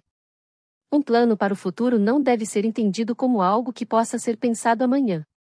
Você está, provavelmente, atrasado, e qualquer iniciativa no sentido de suprir esse atraso é urgente. Pontos de atenção. Comprometa-se por escrito com cada iniciativa que você acredita que deve ser colocada em prática, e verbalmente com as pessoas que podem ajudá-lo no processo e também com aquelas que, fazendo parte de sua rotina, podem consumir o tempo que você espera dedicar ao planejamento de seu futuro. Reúna aliados para não sucumbir ao excesso de estímulos que tendem a mantê-lo em sua zona de conforto. Essas 20 estratégias provavelmente não esgotam a lista de soluções que costumam ser adotadas para a aposentadoria. Para ser objetivo, procurei não estender demais os exemplos, e talvez por isso você tenha sentido falta de mais explicações e críticas sobre criar uma carteira de imóveis para viver da renda de aluguel. Na prática, isso equivale a combinar a estratégia de investir com mais risco, a valorização dos imóveis não é garantida, e de criar um negócio de família, mais do que três imóveis já exigem um administrador, um bom controle dos impostos a se recolherem, atenção à rotatividade dos inquilinos, etc., e várias outras estratégias não passam de variações ou combinações das que discuti aqui. Você deve ter notado que procurei jogar contra cada uma das estratégias. Não quero pregar uma visão pessimista de futuro, até porque acredito na capacidade que temos de transformar nosso meio de maneira significativa mas procurei destacar em quais pontos cada estratégia costuma fracassar, para que você perceba que cada uma delas, isoladamente, traz um risco ao qual devemos atentar e sobre o qual devemos agir para anulá-lo. Enquanto trabalhamos, temos escolhas a fazer. Se estamos infelizes, podemos trocar de emprego. Se ganhamos pouco, podemos estudar para melhorar o currículo e pleitear uma promoção. Mas, uma vez planejada e conquistada a aposentadoria, nossa capacidade de mudar o rumo de nossas escolhas cai praticamente a zero. O problema não está nas estratégias, mas são inerentes à aposentadoria em si. Por mais que adotemos caminhos diferentes para alcançá-la, o resultado é o mesmo: limitações nas escolhas e uma boa probabilidade de fracasso. Como você deve ter percebido, entre as várias estratégias que costumam ser adotadas, nenhuma é suficientemente sólida para nos conduzir aos objetivos que, na teoria, nos proporcionariam a tão desejada liberdade para fazer o que bem entendermos. É por isso que, daqui em diante neste texto, defenderei a ideia de que o conceito de aposentadoria não é mais viável. Dificilmente acumularemos um grande patrimônio se não mudarmos a maneira de nos prepararmos para a terceira idade. Se nada for feito, pode ser que os aposentados de amanhã vivam com uma renda inferior à dos de hoje. Para que isso não aconteça, compartilho com você a estratégia que irá conduzir sua vida a um caminho de item renda sempre crescente. Item mais liberdade de escolha. Item maior valorização da vida e das oportunidades presentes. Item menor dependência das regras e leis que, de tão volúveis no Brasil, provocam angústia até entre os mais metódicos. Vamos à nossa estratégia. Capítulo 3 Como garantir renda e liberdade crescentes ao longo da vida. Não, a aposentadoria, da maneira que muitos pensam alcançá-la, não é mais viável. Nem sequer é interessante, pois, quando foi criada, no fim do século XIX na Alemanha, seu objetivo era o de prover idosos incapazes com alguma renda. Hoje, Fazer planos para parar aos 65 ou antes talvez lhe traga tranquilidade financeira, mas a limitação de possibilidades profissionais pode condenar sua vida ao tédio. Em 2005, meus investimentos atingiram a marca de um milhão de reais, em valor que, na época, garantia minha independência financeira. Minha carteira de ativos me proporcionava ganhos reais, líquidos de impostos e descontando a inflação, de cerca de 4.800,00 reais mensais, que era mais ou menos o meu custo de vida mensal naquele período. Teoricamente, eu poderia deixar de trabalhar, já que me tornará capaz de manter minha família sem depender do trabalho. Apesar de ainda jovem, com 31 anos, já poderia me considerar aposentado, uma vez que o trabalho não era mais uma necessidade. No entanto, algo me dizia que deixar de trabalhar não seria uma boa ideia. Eu sentia que me faltava coragem para me entregar ao ócio. Senti-me inseguro diante da possibilidade de me tornar um bom viva. Continuei trabalhando, já que ainda era jovem para me sentir esgotado por causa do que eu fazia. Porém, a partir do momento em que me senti financeiramente independente, passei a ter mais coragem de dizer não para propostas profissionais que não me agradavam, aceitando somente aquelas que me motivavam ou despertavam certo fascínio. Dali em diante, passei a trabalhar com muito mais prazer e felicidade, pois eliminara de minha vida o trabalho por obrigação. Fazendo só o que gostava de fazer, passei a me sentir mais motivado em minha carreira. Isso me fez trabalhar cada vez mais inspirado, melhorando meu desempenho e fazendo com que eu me destacasse dos demais.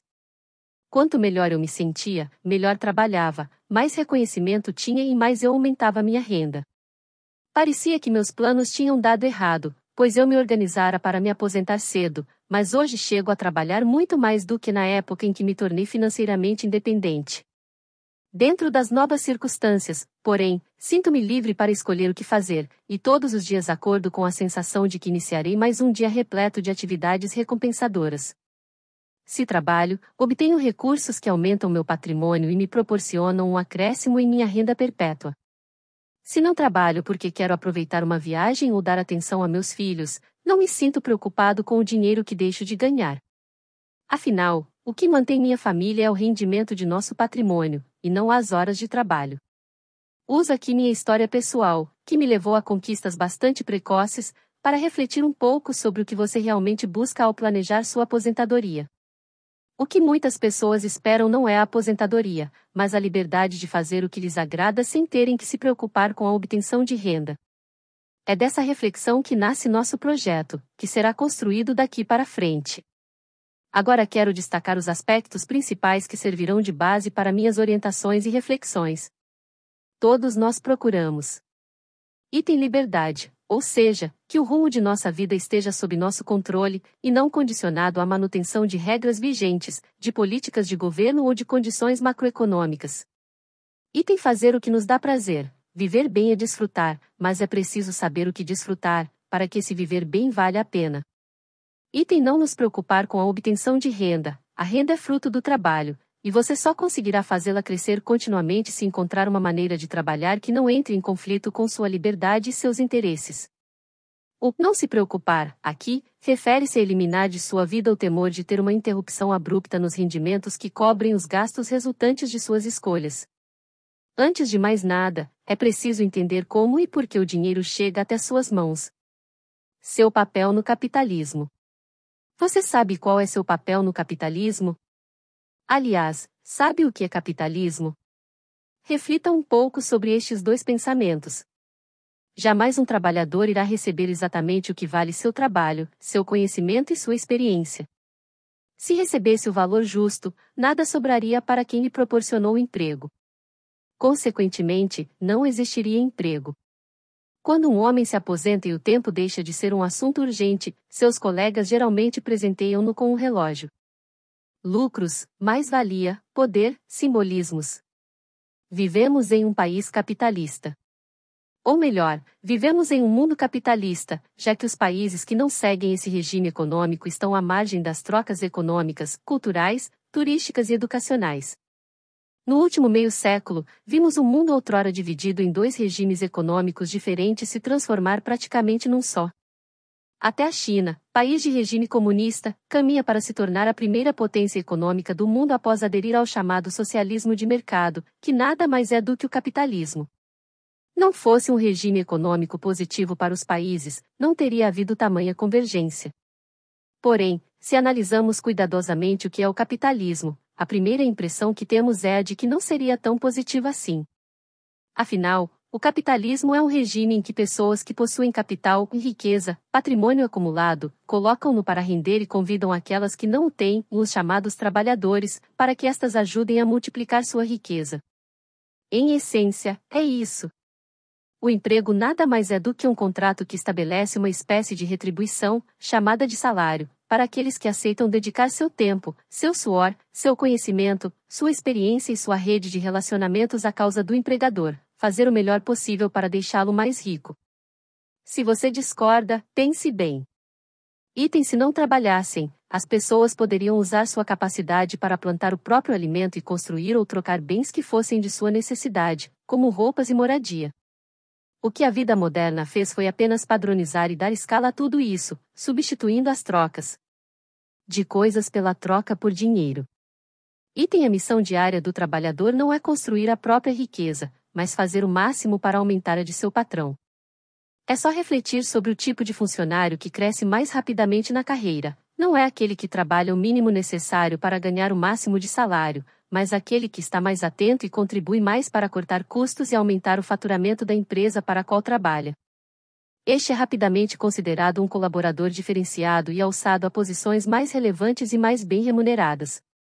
Item aos donos do capital, só a vantagem em criar negócios e gerar emprego se houver crescimento de sua riqueza, afinal eles estão assumindo risco sobre o patrimônio que acumularam. Item só haverá aumento de riqueza dos donos do capital se aqueles que trabalham em sua empresa forem competentes para criar excedentes entre os recursos que entram e os recursos que saem da operação desse negócio. Dessa reflexão, podemos inferir inicialmente que o capitalismo é um regime que prega a desigualdade, já que o número de trabalhadores em qualquer país é muito maior do que o daqueles que possuem capital. Se a maioria trabalha para enriquecer a minoria, a tendência é que os ricos fiquem cada vez mais ricos e que os pobres fiquem cada vez mais pobres, certo? Errado. Muito pelo contrário. Se as oportunidades forem iguais, principalmente no âmbito educacional, o capitalismo será o mais justo e próspero dos regimes. Afinal, se a todos os trabalhadores forem dadas as mesmas oportunidades de adquirir conhecimento em um ambiente democrático, ninguém poderá impedir nenhum trabalhador de ir reservando, do muito ou pouco que ele ganha, uma parte para o futuro. Ao investir para que essa reserva se multiplique, esse trabalhador chegará num ponto em que poderá sentir. Item que sua carreira profissional já não lhe agrega realizações como antes item que as oportunidades que surgem não lhe provocam a mesma gana pelo trabalho. Item que os mais jovens e com conhecimento renovado custam menos e representam forte ameaça à sua posição de trabalho. Item que o mercado de trabalho já não tem mais interesse em sua experiência e seu modo de trabalhar. A essa altura, tendo esse trabalhador capital acumulado, ninguém poderá impedi-lo de chegar à seguinte conclusão: Cansei de trabalhar. Vou sacar meu capital, colocá-lo para trabalhar e convidar quem não tem capital para ajudar a multiplicá-lo. Em outras palavras, essa é a conclusão a que chegam muitas famílias quando deixam de obter do trabalho a realização ou a renda que consideram justa. Por que não abrir um negócio próprio?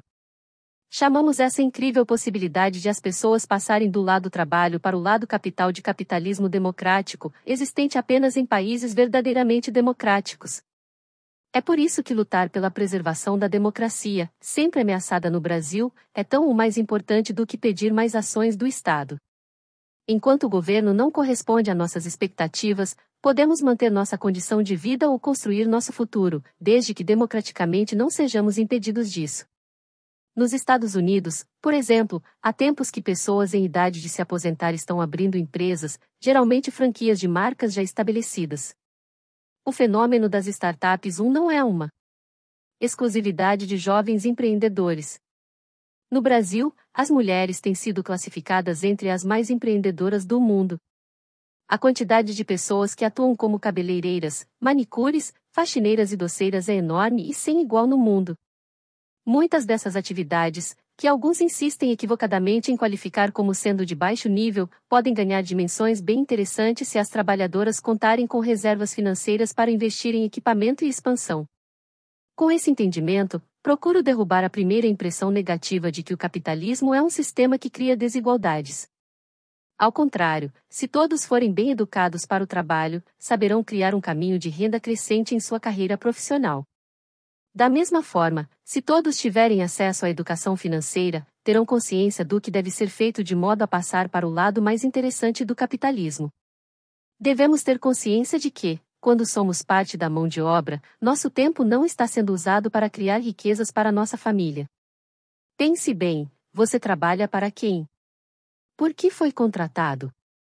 Como empregados, nosso tempo é usado para criar riquezas para quem nos dá a oportunidade do emprego, e enquanto fazemos isso somos remunerados, melhor seria dizer indenizados, por ceder nossa capacidade aos objetivos de terceiros, até que criemos as condições de não precisar mais fazer isso. O trabalho talvez dignifique o homem, mas quem próspera mesmo com ele é o empregador. Nesse jogo, a vantagem para o trabalhador é a construção, ao longo da vida, de uma condição honesta de independência e liberdade. Nessa transição do lado trabalho para o lado capital, o ideal seria abandonar a ideia de aposentadoria e pensar em adotar uma atitude empreendedora.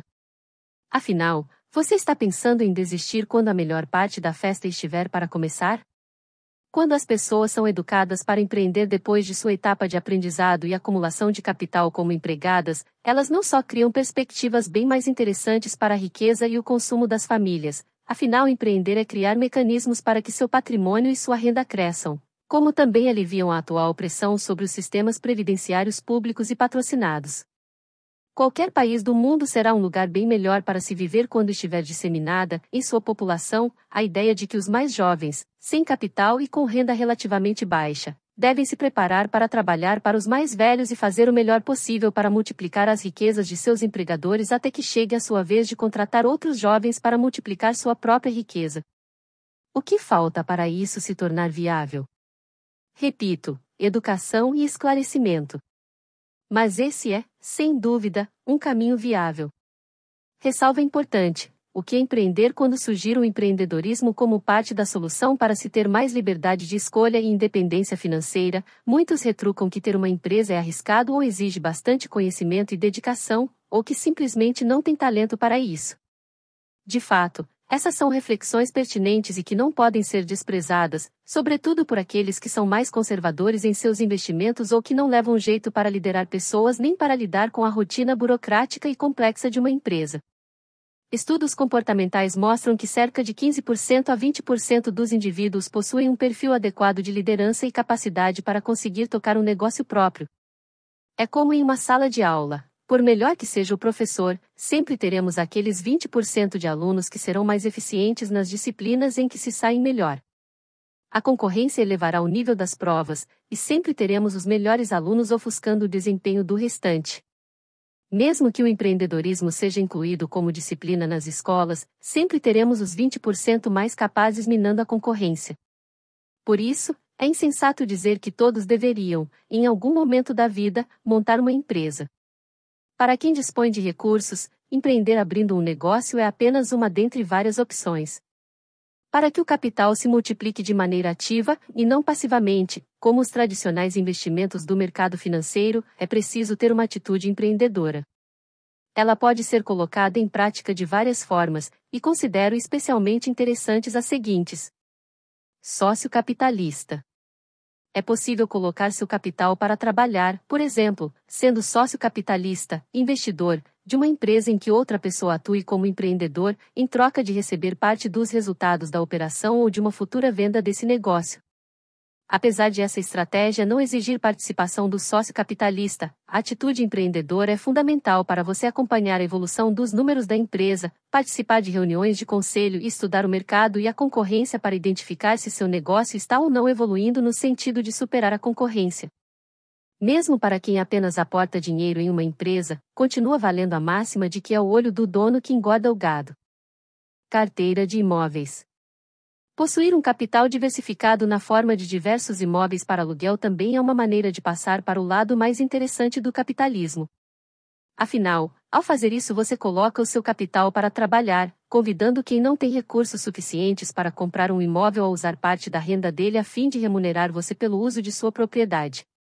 Aqui também vale a ideia dos mais jovens trabalhando para os que já acumularam, pois espera-se que, mais cedo ou mais tarde, todos tenham sua casa própria. Nesse caso, a atitude empreendedora está em diversificar seus investimentos em vários imóveis, estudar o mercado, seus inquilinos atuais e potenciais, para diminuir a taxa de vacância dos imóveis e avaliar se suas propriedades estão em processo de valorização ou se devem ser substituídas por outras em áreas de maior potencial. Além, obviamente, de organizar toda a contabilidade e todos os compromissos fiscais decorrentes dos ganhos com essa atividade. Na prática, é um negócio como qualquer outro, e, se tiver uma escala razoável, é melhor que seja feito através de uma pessoa jurídica, e não em seu próprio nome como pessoa física, para você pagar menos impostos. Carteira de dividendos. Ter uma carteira de ações e fundos de investimento imobiliário não é muito diferente de ter uma carteira de imóveis. Na prática, é como entrar de sócio em projetos nos quais acreditamos. Porém, muitos tratam esse tipo de carteira de ativos como um investimento passivo, daqueles que só precisam ser comprados e esquecidos enquanto o rendimento pinga na conta corrente todos os meses. Por essa característica, é chamada de investimento de aposentado, e o próprio apelido já indica que há algo errado com a estratégia. Na prática, uma carteira pagadora de dividendos deixa pouca margem para aumento da renda ao longo do tempo. No máximo, conseguisse corrigir esses rendimentos pela inflação ou pouco acima disso, os lucros das empresas e seus dividendos tendem a acompanhar a inflação quando bem administrados. A atitude empreendedora para o detentor de uma carteira de dividendos é se envolver com os negócios responsáveis por seus rendimentos, participar de assembleias de acionistas e reuniões de condomínio dos investimentos imobiliários, estudar as análises dos investimentos e estar atento a possibilidades de comprar mais na baixa de preços ou de mudar a composição da carteira diante de novas oportunidades. Participação em leilões. Quem participa de leilões, seja de obras de arte, seja de imóveis, automóveis ou de apreensões da justiça, tem um único objetivo: comprar um bem por um valor menor que o de mercado. Frequentar leilões por si só já é uma maneira interessante de colocar seu patrimônio para trabalhar e criar uma renda em uma fase da vida em que você conta com mais tempo disponível. Porém, é possível incrementar seus ganhos se você adotar uma postura menos passiva e mais empreendedora ao frequentar leilões. Como? incluindo em sua rotina a visita ao escritório depósito do leiloeiro para avaliar antecipadamente os itens a serem leiloados, sua conservação e sua documentação. Além disso, é interessante formar parcerias com especialistas, advogados, corretores de imóveis, mecânicos, etc., para que eles rotineiramente o acompanhem nas avaliações. Por parceria, entenda a possibilidade de contratar um pacote de diárias de trabalho de modo que cada uma delas saia mais barata que uma consultoria avulsa, ou então a possibilidade de dividir resultados com esse especialista. No caso do mecânico, a parceria pode ser não só na avaliação, mas também no serviço de restauro de veículos comprados. Abra uma empresa para diminuir a tributação sobre os lucros de revenda e tenha uma visão empreendedora para fazer esse negócio crescer em escala, com boa organização das contas, uso do crédito para alavancar suas aquisições e contratação de pessoal para ajudá-lo a garimpar oportunidades e a organizar a rotina do negócio. Já vi muitos ex-aposentados irem da condição de curiosos por leilões a especialistas em negociação em determinado mercado ou produto. Atuação consultiva ou prestação de serviços. Usar seu conhecimento e sua experiência para prestar consultoria a ex-clientes ou ex-empregadores ou ainda lecionar é uma forma gratificante de reforçar a renda familiar. Há quem faça planos com anos de antecedência para prestar serviços depois da aposentadoria, assim como há quem seja convocado para uma oportunidade assim que se aposenta. Em geral, uma experiência sólida traz muita segurança para desempenhar serviços relacionados à sua área de especialização e atenção. É um equívoco tratar esse tipo de serviço como um bico. Por mais que não se esperem desdobramentos de uma primeira oportunidade de aula ou consultoria, é preciso adotar aqui também a atitude empreendedora.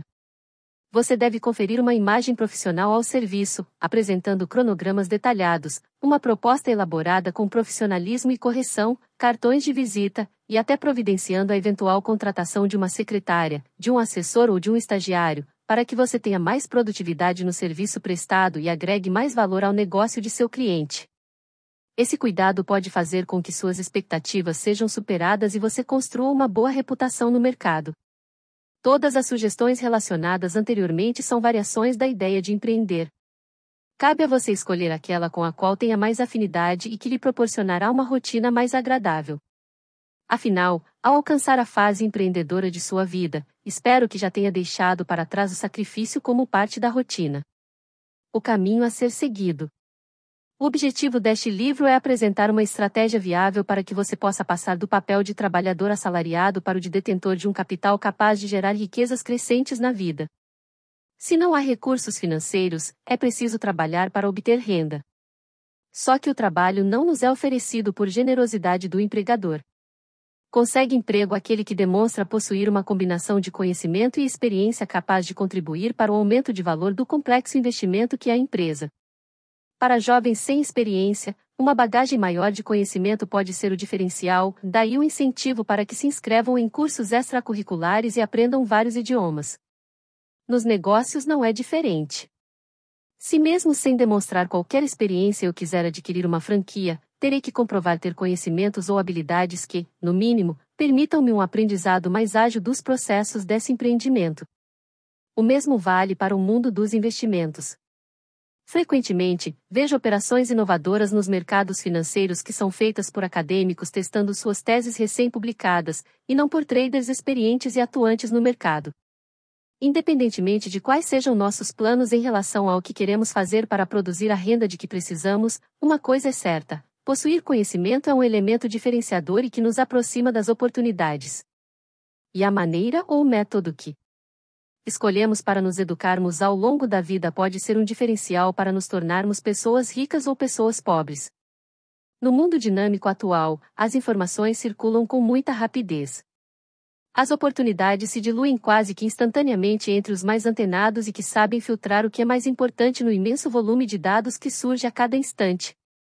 Por isso, as desigualdades econômicas estão cada vez mais associadas às desigualdades educacionais. Quem tem acesso a uma educação de qualidade adquire as melhores ferramentas para prosperar. Hoje, todos entendem que as crianças devem ser formalmente educadas para, no mínimo, ter alguma chance de batalhar por um bom emprego. Sem educação, seu futuro está à mercê da sorte. No entanto, fico angustiado ao perceber as oportunidades desperdiçadas quando vejo que a maioria das pessoas simplesmente se conforma e se limita à educação formal de base, composta por escola, faculdade ou curso técnico e, no máximo, pós-graduação ou especialização. Essa educação é uma preparação suficiente para o trabalho, mas a vida não se limita a trabalhar. Defendo a tese de que, se quisermos de fato criar a capacidade de gerar riquezas durante toda a nossa longa vida, precisamos adotar um novo padrão educacional. Ele pode ser dividido em três etapas. Item etapa 1 Educação para o trabalho. Item etapa 2 Educação para empreender. Item etapa 3 Educação para investir. Cada etapa se relaciona à seguinte, como uma evolução do conhecimento alterar a ordem do aprendizado, por exemplo, estudando sobre investimentos antes de empreender, não tornará seu enriquecimento inviável. Mas o processo de construção de riquezas fica mais eficiente se as etapas forem executadas nessa ordem. A educação empreendedora tem muito a aproveitar da experiência de trabalho, assim como a educação para investir é muito mais produtiva para quem já empreendeu. Todos já somos naturalmente educados para o trabalho, e é a partir do modelo adotado nos dias de hoje em nossa sociedade que iniciamos nosso plano. Explico a seguir as razões da sequência proposta e de que forma ela se traduz em um caminho certo para a prosperidade. 1. Educação para o trabalho. A maior preocupação de todo pai e de toda mãe é a saúde dos filhos. Em segundo lugar, vem a educação. Sem saúde, nada fazemos.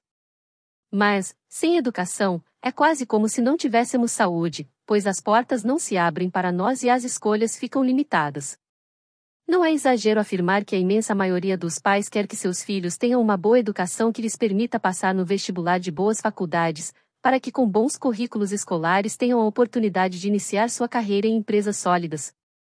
Obviamente, a educação escolar vai além disso, incluindo o aprendizado e as reflexões para formar cidadãos e pessoas preparadas para a vida adulta.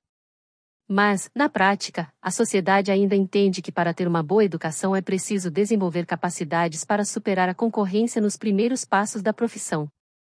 Esses valores são especialmente importantes em famílias de classe média que, com poupança reduzida e dificuldades financeiras na vida adulta, induzem os filhos a buscar num bom emprego uma história com final mais feliz que o da de seus pais. O foco em educar mais para a vida, reforçando a capacidade de discernir e de fazer boas escolhas, contribui muito mais para a riqueza do futuro adulto do que a educação para competir em provas. Isso inclui mais profundidade em conhecimentos como filosofia, lógica, sociologia e interpretação e escrita de textos, e menor ênfase nas ciências puras como química e matemática. Um adulto capaz de resolver problemas estará mais apto a, por exemplo, empreender caso não consiga um emprego. E, se tiver a oportunidade do emprego, será mais pragmático na busca de soluções em sua função. Há um ajuste, portanto, a ser perseguido na educação que a sociedade oferece aos jovens. Quanto mais o adulto for preparado para pensar e resolver quaisquer tipos de problema, mais eficaz terá sido sua educação. São muitas as questões difíceis que os jovens de hoje ainda irão enfrentar. Entre elas, as de efeitos mais duradouros certamente são aquelas ligadas à sustentabilidade do planeta e ao planejamento da evolução dos recursos financeiros pessoais ao longo da vida. Portanto, é preciso uma educação mais humana, mais voltada para os problemas da sociedade e menos preocupada com a competição em provas. A dificuldade maior na busca desse caminho está em saber avaliar até que ponto devemos abrir mão da competitividade para ganhar em qualidade. De qualquer maneira, jamais poderemos descartar o importante papel da educação escolar, que, em suas diversas fases, é o meio para proporcionar às pessoas uma formação adequada para o trabalho. Porém, como o trabalho não deve mais ser tratado como a única ou a principal forma de obter recursos na vida, precisamos ter em mente que as ferramentas que buscamos ao escolher nossos cursos de graduação, pós-graduação, técnicos, de especialização e de idiomas terão uso limitado. Devemos nos planejar e nos educar para trabalhar por um tempo menor do que o normalmente planejado, para que aos poucos passemos a nos dedicar a outros tipos de conhecimentos, menos relacionados à nossa principal atividade profissional. Postura enriquecedora no trabalho. Lembre-se, com o que foi aprendido na escola e na universidade, você formou um currículo que, aos olhos do empregador, mostra nada mais do que suas capacidades de resolver os problemas dele. Seja curioso para identificar as necessidades do mercado de trabalho como um todo, dedique-se acima da média, trabalhe mais do que os outros e supere expectativas para, no prazo mais curto que puder, acelerar etapas de crescimento na carreira. Nenhuma fase na vida é tão limitadora para nossas escolhas quanto aquela em que ainda ganhamos pouco, mas decidimos ser independentes de nossos pais. E não há outro caminho para evoluir na carreira. Cresce mais quem gera mais resultados e vende mais, corta mais gastos, cativa e fideliza mais clientes. Seja um mestre nessas habilidades, ao mesmo tempo que zela para que esse ritmo não vire hábito e você se torne um viciado em trabalho, workaholic. Por mais que tenha consciência de ter que alcançar a próxima etapa empreendedora, aproveite ao máximo sua confortável posição de empregado para aprender sobre o mercado e entendê-lo. Quando sentir que está progredindo na carreira, será a hora de começar a plantar em ritmo mais moderado e começar a degustar as primeiras experiências da etapa seguinte. 2. Educação para empreender. Deste ponto em diante, estamos enterrando de vez a infrutífera expectativa de nos aposentarmos. É quando os frutos da educação para o trabalho começam a se multiplicar e a carreira parece entrar em uma espécie de voo de cruzeiro que devemos aproveitar o momento de colheita e começar a plantar em outra seara. Não entenda errado, você não vai abandonar o jogo justamente quando ele estiver ficando divertido. Muito pelo contrário. Quando a situação está sob controle, ou seja, quando propostas de emprego começam a ser frequentes ou quando você percebe que não tem que torcer para ser aceito, mas são as empresas que torcem para que você aceite convites, é sinal de que não precisa mais se esforçar acima da média para superar expectativas. A reputação está criada, sua empregabilidade está forte e seu foco deve estar no equilíbrio de sua agenda e em mais qualidade de vida. Ainda é preciso renovar conhecimentos e continuar se atualizando, desde que também encontre tempo para aprender um pouco sobre a próxima etapa na construção de sua riqueza. É hora de começar a se educar para o empreendedorismo. Isso pode ser feito por meio de visitas a feiras de franquias, cursos específicos para empreendedores ou aproveitando a rede de relacionamentos que você construiu por meio de seu emprego para conversar e entender um pouco mais sobre a história dos negócios, seus êxitos e fracassos e para obter dicas que os empreendedores bem-sucedidos podem compartilhar. Também é possível ter algumas experiências empreendedoras em paralelo com a carreira, como montar um comércio digital, oferecer um serviço que falte à sua vizinhança, entrar em um negócio de marketing multinível, criar um blog e promover suas ideias e sua expertise em palestras e cursos, tal como realizar trabalhos voluntários, entre outras iniciativas. Same a essas sugestões a possibilidade de investir em imóveis, ações e leilões e serviços autônomos com atitude empreendedora. Não há um caminho específico, um único caminho. A educação para empreender se faz pelo acúmulo de aprendizados e experiências que, aliados a uma boa dose de criatividade, podem levá-lo a iniciar uma atividade inovadora. Acima de tudo, com uma boa formação nesse sentido, você estará aumentando sua capacidade de entender os fatores de risco de um negócio próprio e como administrá-los para dar solidez a seus ganhos. Todos sabemos que abrir uma empresa é um investimento do mais alto nível de risco. Mas correr um risco maior é o caminho para pessoas bem informadas obterem ganhos maiores. Cabe a você aprender, com treino, a domar esse risco. Postura enriquecedora ao empreender. Milhares de pessoas iniciam um novo negócio todos os dias. Dessas, cerca de 48% se sentirão fracassadas dentro de três anos, algumas por terem falido e a maioria simplesmente por ter jogado a toalha diante de ganhos insuficientes. O percentual é alto. Você por certo não quer ver os frutos de toda uma carreira escorrerem pelo ralo em pouco tempo, ficando obrigado a retornar ao mercado de trabalho. Para isso, deverá entender seu negócio como um investimento que precisa de reinvestimento contínuo, principalmente nos primeiros anos, além de seu conhecimento e de sua dedicação. Por melhor e mais sólida que seja a empresa, você terá que reter parte dos lucros na própria atividade. Oportunidades existem aos montes, boas ideias também, e por isso qualquer bom negócio que você iniciar poderá ser ameaçado pela concorrência. Caso você não reinvista parte dos lucros, algum outro empreendedor mais perspicaz pode imitar o seu negócio e ter em pouco tempo, com reinvestimentos, uma equipe mais bem treinada, um marketing mais eficiente, uma marca mais forte e uma série de diferenciais que farão a empresa dele crescer e engolir a sua. Se seu negócio for, por exemplo, uma carteira de ações, o risco é o mesmo. Seu conhecimento diferenciado pode se tornar rapidamente lugar comum, e aqueles com saber renovado por meio da educação continuada estarão faturando alto enquanto o desempenho de sua carteira cairá para os níveis de ganhos da renda fixa. Empreender exige dedicação contínua e busca incessante por conhecimento e inovação. Escolha, portanto, empreender em uma área que lhe seja de fato prazerosa, porque até seu negócio estabilizar você precisará estar completamente envolvido nele na prática, trabalhando tanto ou mais do que antes, só que agora tendo a si mesmo como patrão. 3. Educação para investir. Da mesma maneira que se espera que a educação para o trabalho nos conduza a um nível em que estejamos no controle da carreira, com a atividade empreendedora acontece o mesmo. No começo, é preciso administrar muitas variáveis de risco, adquirir bastante conhecimento e aprender com os erros. Empreender é uma atividade complexa. Se fosse fácil, não geraria retorno, pois todos fariam igual e os lucros se diluiriam.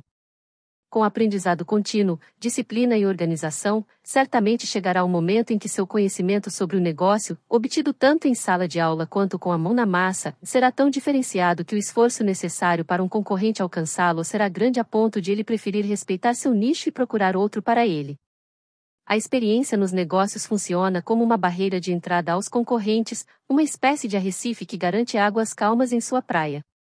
Essa é a hora de, mais uma vez, reduzir, e não extinguir, o ritmo do plantio e começar a comemorar a colheita. É aqui que você deverá refletir sobre o que construiu na vida, resgatar projetos antigos não realizados, começar a rascunhar planos para que os filhos e demais herdeiros deem continuidade a seu legado. É a hora, também, de começar a se dedicar mais profundamente ao aprendizado sobre seu papel de investidor, ao que chamo de educação para investir. Não que você não devesse ter estudado sobre investimentos até agora, mas, com o avançar da idade, é importante que tenha consciência da importância de garantir que seus negócios funcionem independentemente de sua capacidade ou de sua vontade de se envolver com eles. A educação para investir envolve fazer cursos de formação de conselheiro, treinamentos em análise de balanços, participação em eventos de empresas familiares, discussão de estratégias de sucessão patrimonial com advogados e outras atividades que o capacitem tanto para selecionar alguém que assuma o comando dos negócios quanto para entender o que deve ser analisado e auditado para garantir que os negócios continuem no rumo certo.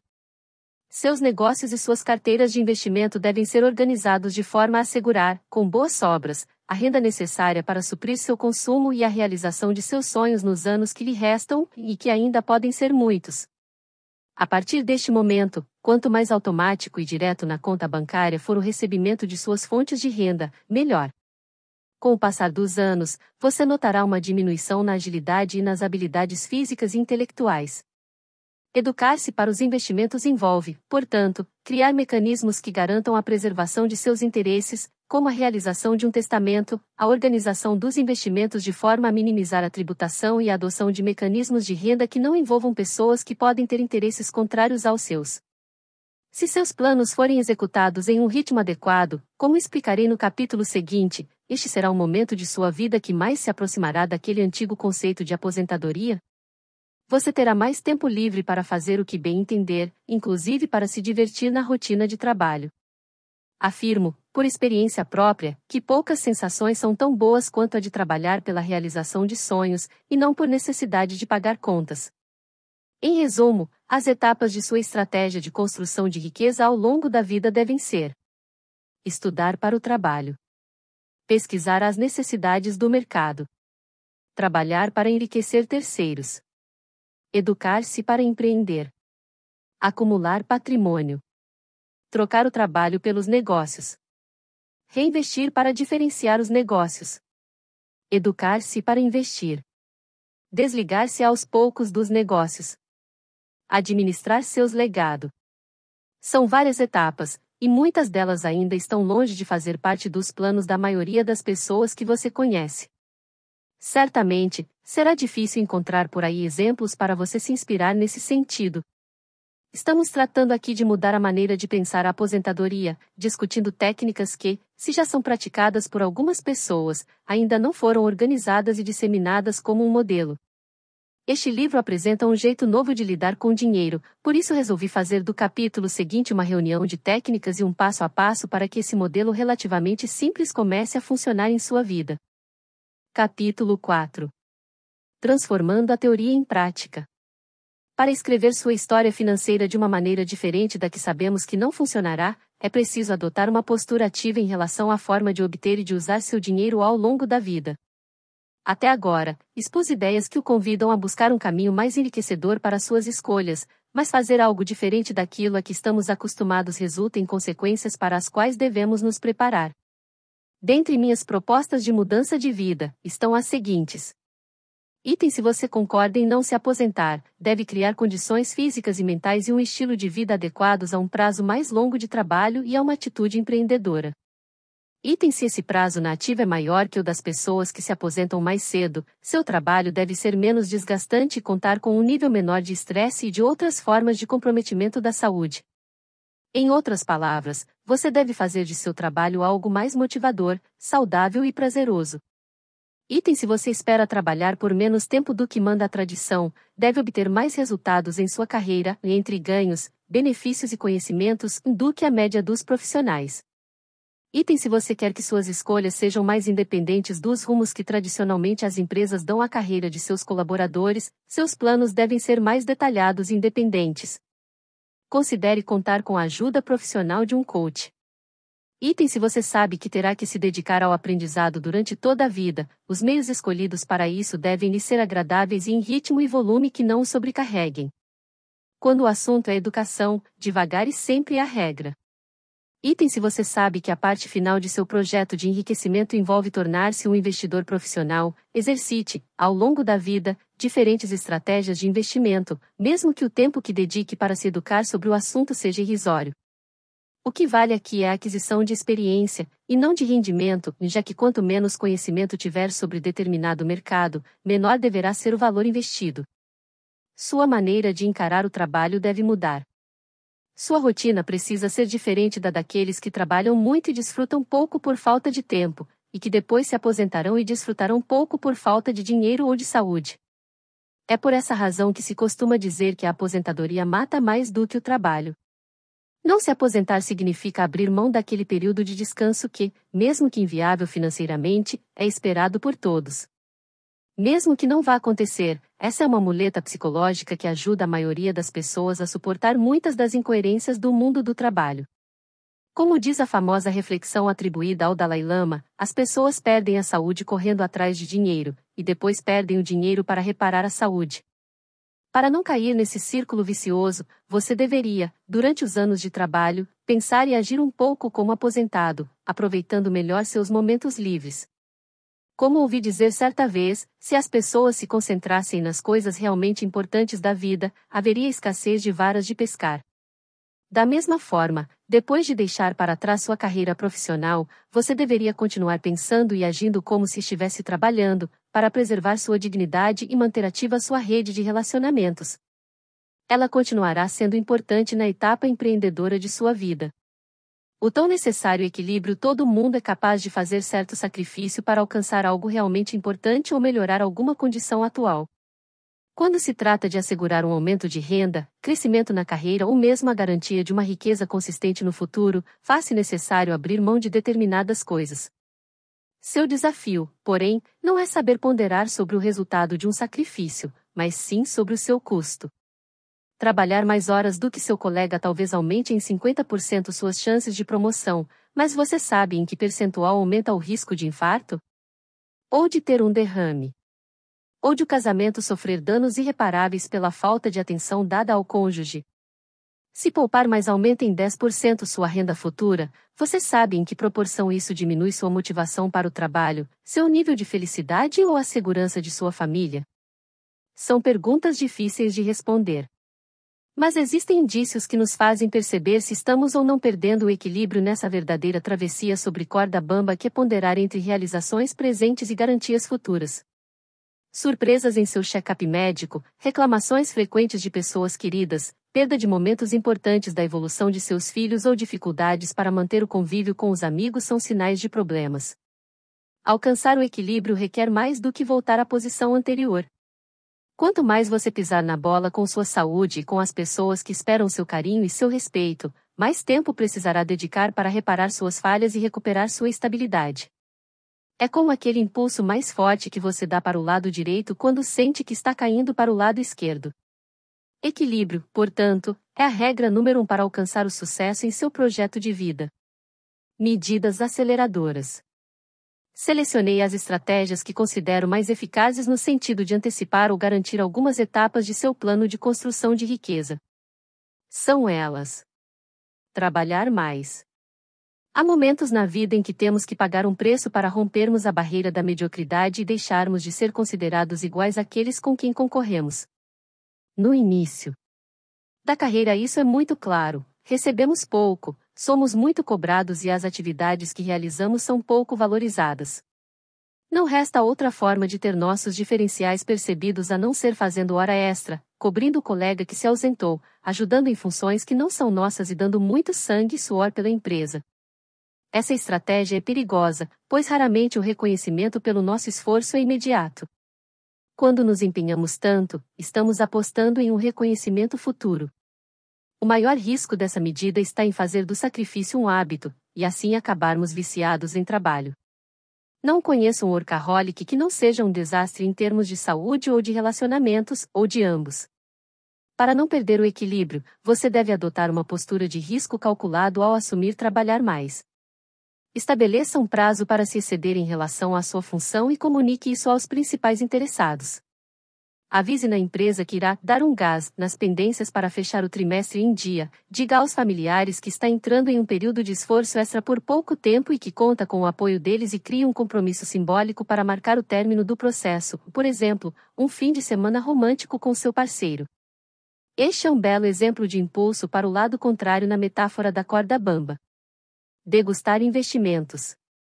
Investir com sabedoria exige um bom tempo de envolvimento e aprendizado, principalmente quando se trata de mercados de renda variável, como ações e imóveis. Mas, durante os primeiros anos de seu projeto de enriquecimento, sua dedicação de tempo deve estar voltada para o trabalho, para o aprimoramento profissional e para a educação para empreender. Isso. Significa que você deve ser ineficiente e conservador em seus investimentos? De forma alguma.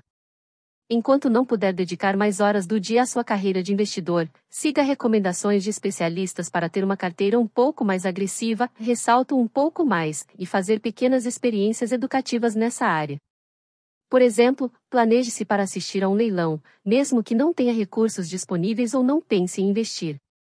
Invista algumas dezenas de reais em ações de uma empresa que você admire e passe a frequentar os encontros de acionistas.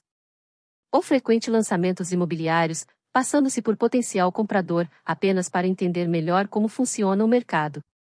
O aprendizado nesse tipo de envolvimento é significativo, e às vezes vale mais do que dedicar mais tempo e dinheiro em cursos formais sobre o tema. Quando efetivamente possuir recursos para fazer investimentos mais complexos, essa experiência prática lhe dará maior segurança para negociar e encontrar oportunidades. Exercitar seu domingo. Todos temos alguma atividade em que somos muito bons. Talvez você dance bem, talvez tenha tino para a música ou para as artes plásticas. Mulheres são inigualáveis quando se trata de cuidados pessoais. Há quem seja bom em esportes, no raciocínio lógico, na escrita, no cuidado com os necessitados ou na política. Alguns fazem piadas como ninguém, ao passo que outros desenham com maestria. Há quem tenha um jeito único para fotografia, ao passo que outros são habilidosos com games ou com o volante de um carro. Pergunte a um tímido no que ele é bom, e você verá brotar uma autoconfiança que não é corriqueira. É importante que você saiba no que é bom, qual é o seu domingo. Mais importante ainda é que você procure exercitá-lo sempre, pois ele pode lhe trazer tanto recompensas materiais quanto aquelas intangíveis, como o reconhecimento público de sua capacidade. Ter como hábito uma atividade prazerosa é especialmente enriquecedor quando ela nos faz usar o hemisfério do cérebro menos exigido no trabalho profissionais das artes e da publicidade deveriam dedicar algum tempo a games, jogos de lógica e organização da casa, assim como profissionais das áreas exatas deveriam praticar esportes e realizar atividades artísticas. Isso torna nosso cérebro mais ágil e criativo. No entanto, o ideal mesmo é se dedicar a algo do qual você goste muito. Com o passar do tempo e à medida que buscar o ganha-pão tem sua importância diminuída, nossos hobbies tendem a ocupar um importante espaço do trabalho na nossa rotina. Trabalhar nos faz bem porque nos leva a focar em algo a ser conquistado. Se seu objetivo é trabalhar menos, esse saudável sentido de conquista pode ser obtido através das práticas esportivas, das artes e da organização de atividades familiares. Se seu perfil for realmente empreendedor, é bastante provável que os negócios criados em sua fase empreendedora estejam diretamente ligados às atividades de que você gosta. Este é o melhor dos mundos: trabalhar por prazer, e não por necessidade, em uma área que lhe é apaixonante. Experiências empreendedoras. Não é preciso possuir muito capital nem ter tempo livre para empreender. Se você esperar surgir em sua vida as condições ideais para instituir uma pessoa jurídica e fazer negócios, pode ser que nunca saia do lugar. Empreender é realizar sonhos, preferencialmente obtendo renda com isso. Uma maneira interessante de testar e treinar sua capacidade de empreender é organizar algum projeto ou uma atividade com a qual tenha grande afinidade, como expliquei no item anterior.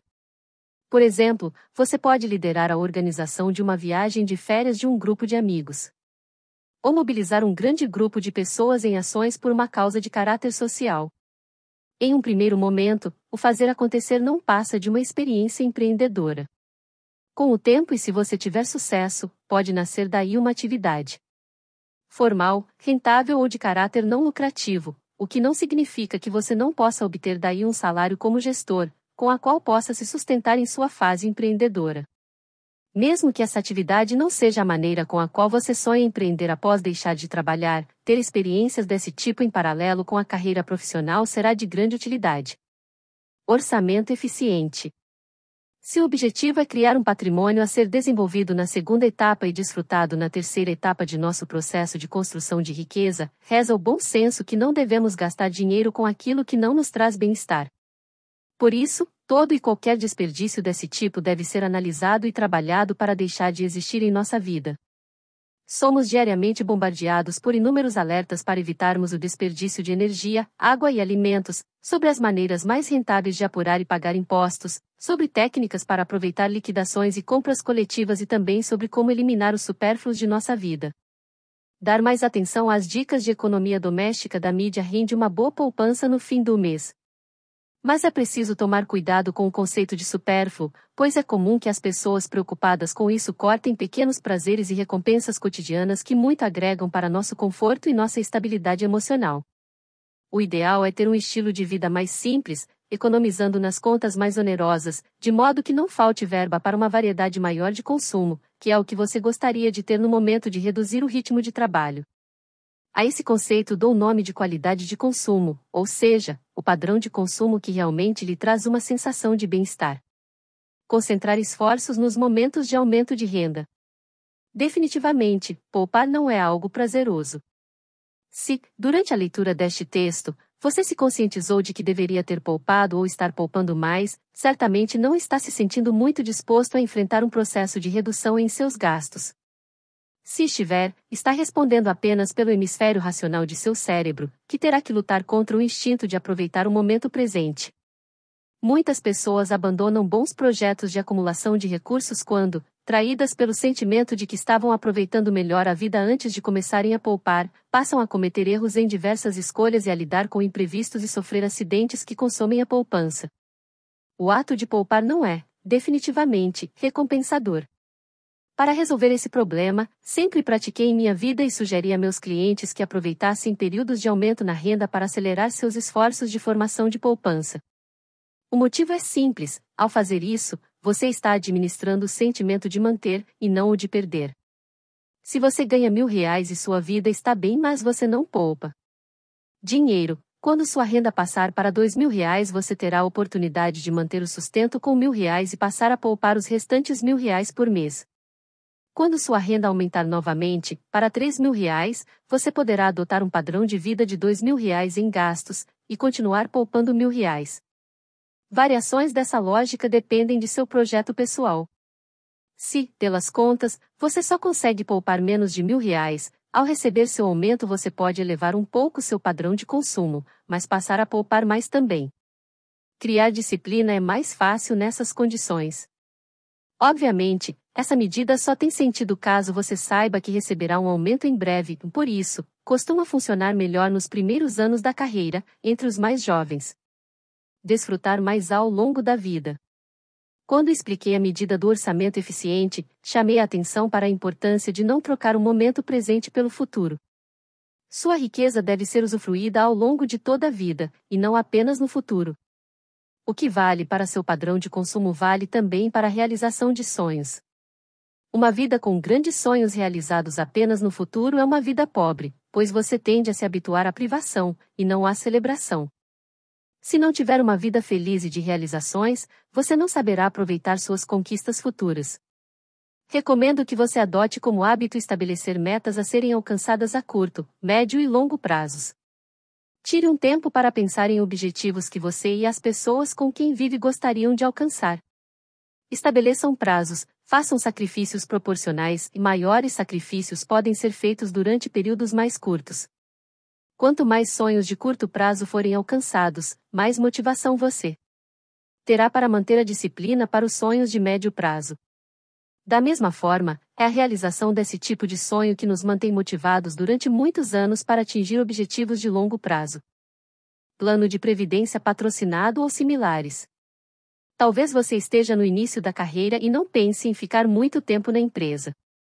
Pode ser que acredite que, por estar em uma fase de transição, não seja a hora de começar a poupar para projetos de prazo mais longo, como para aposentadoria ou para empreender. Talvez você pense que assinar um papel que autorize a retenção de parte de sua renda na folha de pagamento com o objetivo de contribuir para um plano de previdência ou fundo de pensão seja excesso de intromissão do empregador em seu planejamento ou que o risco de investir em um plano desses através da empresa para a qual trabalha ou através da cooperativa da qual participa seja alto demais. Você certamente estará errado em relação a essas reflexões, exceto a primeira. Planos de previdência patrocinados, fundos de pensão e planos de previdência cooperativos são oportunidades que, quando não aproveitadas, costumam gerar arrependimentos no futuro. Por terem custos administrativos menores do que os de seus similares ofertados no varejo ao público em geral, os produtos corporativos e cooperativos tendem a oferecer rentabilidades significativamente superiores. No caso de planos patrocinados, a contrapartida depositada pela empresa em sua conta é um prêmio extremamente vantajoso para quem decidir ser um colaborador fiel dessa companhia por vários anos. Mesmo que você não pense nessa possibilidade, pode ser que venha a mudar de ideia. E, se não mudar, o que se perde é a contrapartida da empresa, ou parte dela, mas você fica com a rentabilidade acima da média do mercado sobre os valores aplicados. No caso de planos cooperativos, a eficiência na rentabilidade é integral, pois, mesmo que haja cobrança de taxas, se houver lucro na operação, ele é dividido entre os cooperados. Como já explicado, o grande fator de ineficiência de um plano desse tipo é a imposição de poder ser resgatado apenas com a entrada na aposentadoria formal. Mas, como o montante continuará se multiplicando de maneira eficiente enquanto não for resgatado, é uma bela maneira de formar seu estoque emergencial de recursos para o futuro, com o benefício extra de ser a prova de erros que poderiam ser cometidos em investimentos tradicionais. Carreira pública ou militar. Prestar um concurso público ou ingressar na carreira militar é uma opção de milhões de brasileiros, raramente motivados pela vocação, mas sobretudo pela suposta estabilidade na renda que essas carreiras trazem. De fato, é sedutor colocar seus conhecimentos e habilidades à prova para concorrer a um emprego do qual dificilmente seremos demitidos e através do qual teremos vencimentos sempre crescentes e em parte preservados na aposentadoria. Nesses casos, o conceito de aposentadoria não está exatamente extinto, mas apenas frágil. Porém, as mesmas condições que geram tranquilidade acabam por causar também certa acomodação e a perda de grandes oportunidades que estão por trás da atividade do serviço público ou militar. Contar com uma renda garantida na aposentadoria não significa que você terá o suficiente. É preciso poupar. Menos, mas é preciso. A tranquilidade de não ser demitido traz maior possibilidade de descanso, mas se parte desse tempo livre for aproveitada para adquirir mais conhecimentos, é possível tanto acelerar o crescimento na carreira quanto antecipar a preparação para um projeto empreendedor. Além disso, essas carreiras garantem acesso a fundos de pensão e cooperativas de crédito extremamente sólidos, o que assegura boas oportunidades de construir diferenciais para a aposentadoria. Em vez de significar tranquilidade, o ingresso na carreira pública ou militar deveria apenas significar a eliminação de algumas etapas em seu processo de construção de riqueza. Trabalho flexível. Todas as estratégias anteriores exigem uma dedicação considerável para serem viáveis, não importa se você quer estudar para um concurso público ou reestruturar sua vida e ter um consumo mais prazeroso e mais sonhos realizados, para mudar suas perspectivas para o futuro, será necessário encontrar em seu dia a dia algum tempo para se organizar. Se sua rotina se resume a trabalhar das 8 às 8 e perder mais uma ou duas horas no trânsito diariamente, é compreensível que queira descansar e dar atenção aos seus entes queridos nas horas livres. Nesses casos, as mudanças começam a acontecer nas madrugadas, nos fins de semana e feriados, quando seus colegas estão descansando e consolidando a velha receita que não funciona. O lazer acaba sendo sacrificado, e isso precisa ser dosado para não se transformar em hábito. No entanto, determinadas carreiras permitem que se tenha uma agenda de trabalho flexível, principalmente as atividades autônomas e as profissões liberais. Se você é capaz de organizar sua agenda profissional conforme sua necessidade, parte de seu tempo livre pode ser aproveitada para o planejamento e para outras atividades que considero importantes. Muitas mulheres têm optado por trabalhos com jornadas flexíveis a fim de, por exemplo, conciliar o papel de mãe com sua profissão. Por isso, mesmo antes de iniciar uma carreira profissional e sem saber quanto e como ganhará dinheiro, ao escolher o curso universitário você já pode estar dando um passo importante para o planejamento da construção de riqueza ao longo da vida. Grandes tacadas. Se você alcançar uma desafiadora meta de vendas, é possível que lhe paguem um bônus generoso no próximo semestre. Ou, se sua startup vingar, talvez surja um fundo de investidores disposto a lhe pagar alguns milhões para ser sócio no negócio você pode receber uma herança, ser sorteado no seguro premiado ou no título de capitalização, ou, quem sabe, achar um tesouro no terreno da casa antiga que comprou. Sonhar não custa nada, certo? O problema com essas hipóteses é que não passam de conjecturas com probabilidade bastante reduzida de acontecerem. Não há nada de errado em torcer pelos caprichos do acaso.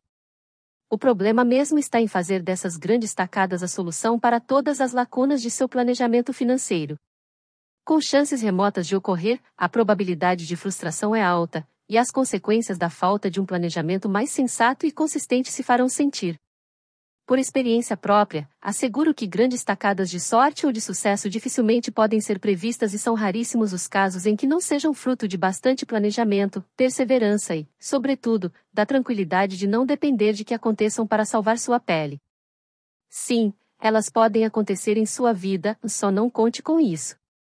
Obstáculos à aplicação das estratégias aceleradoras.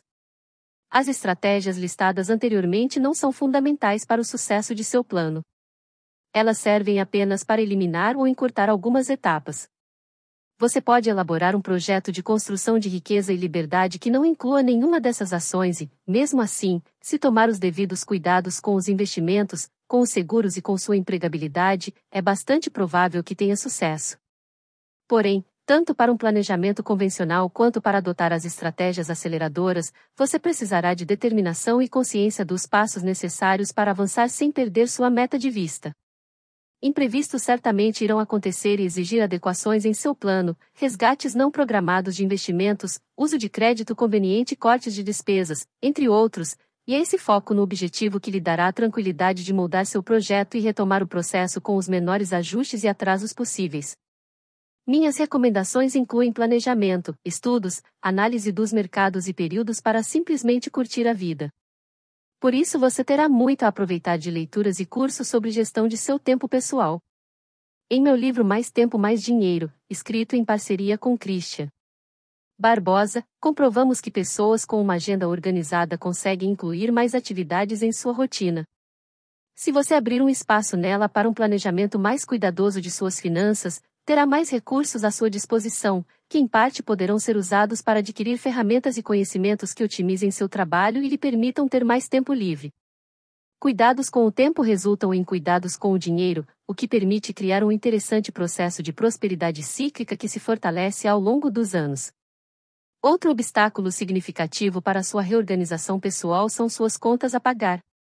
As pessoas que têm um orçamento excessivamente engessado por compromissos fixos e prestações também encontram mais dificuldade para fazer adaptações em suas escolhas, pois decisões do passado as deixam de mãos atadas no presente e continuarão deixando nos próximos meses, o que tende a fazê-las desistir dos ajustes e perder a motivação criada no momento da conscientização.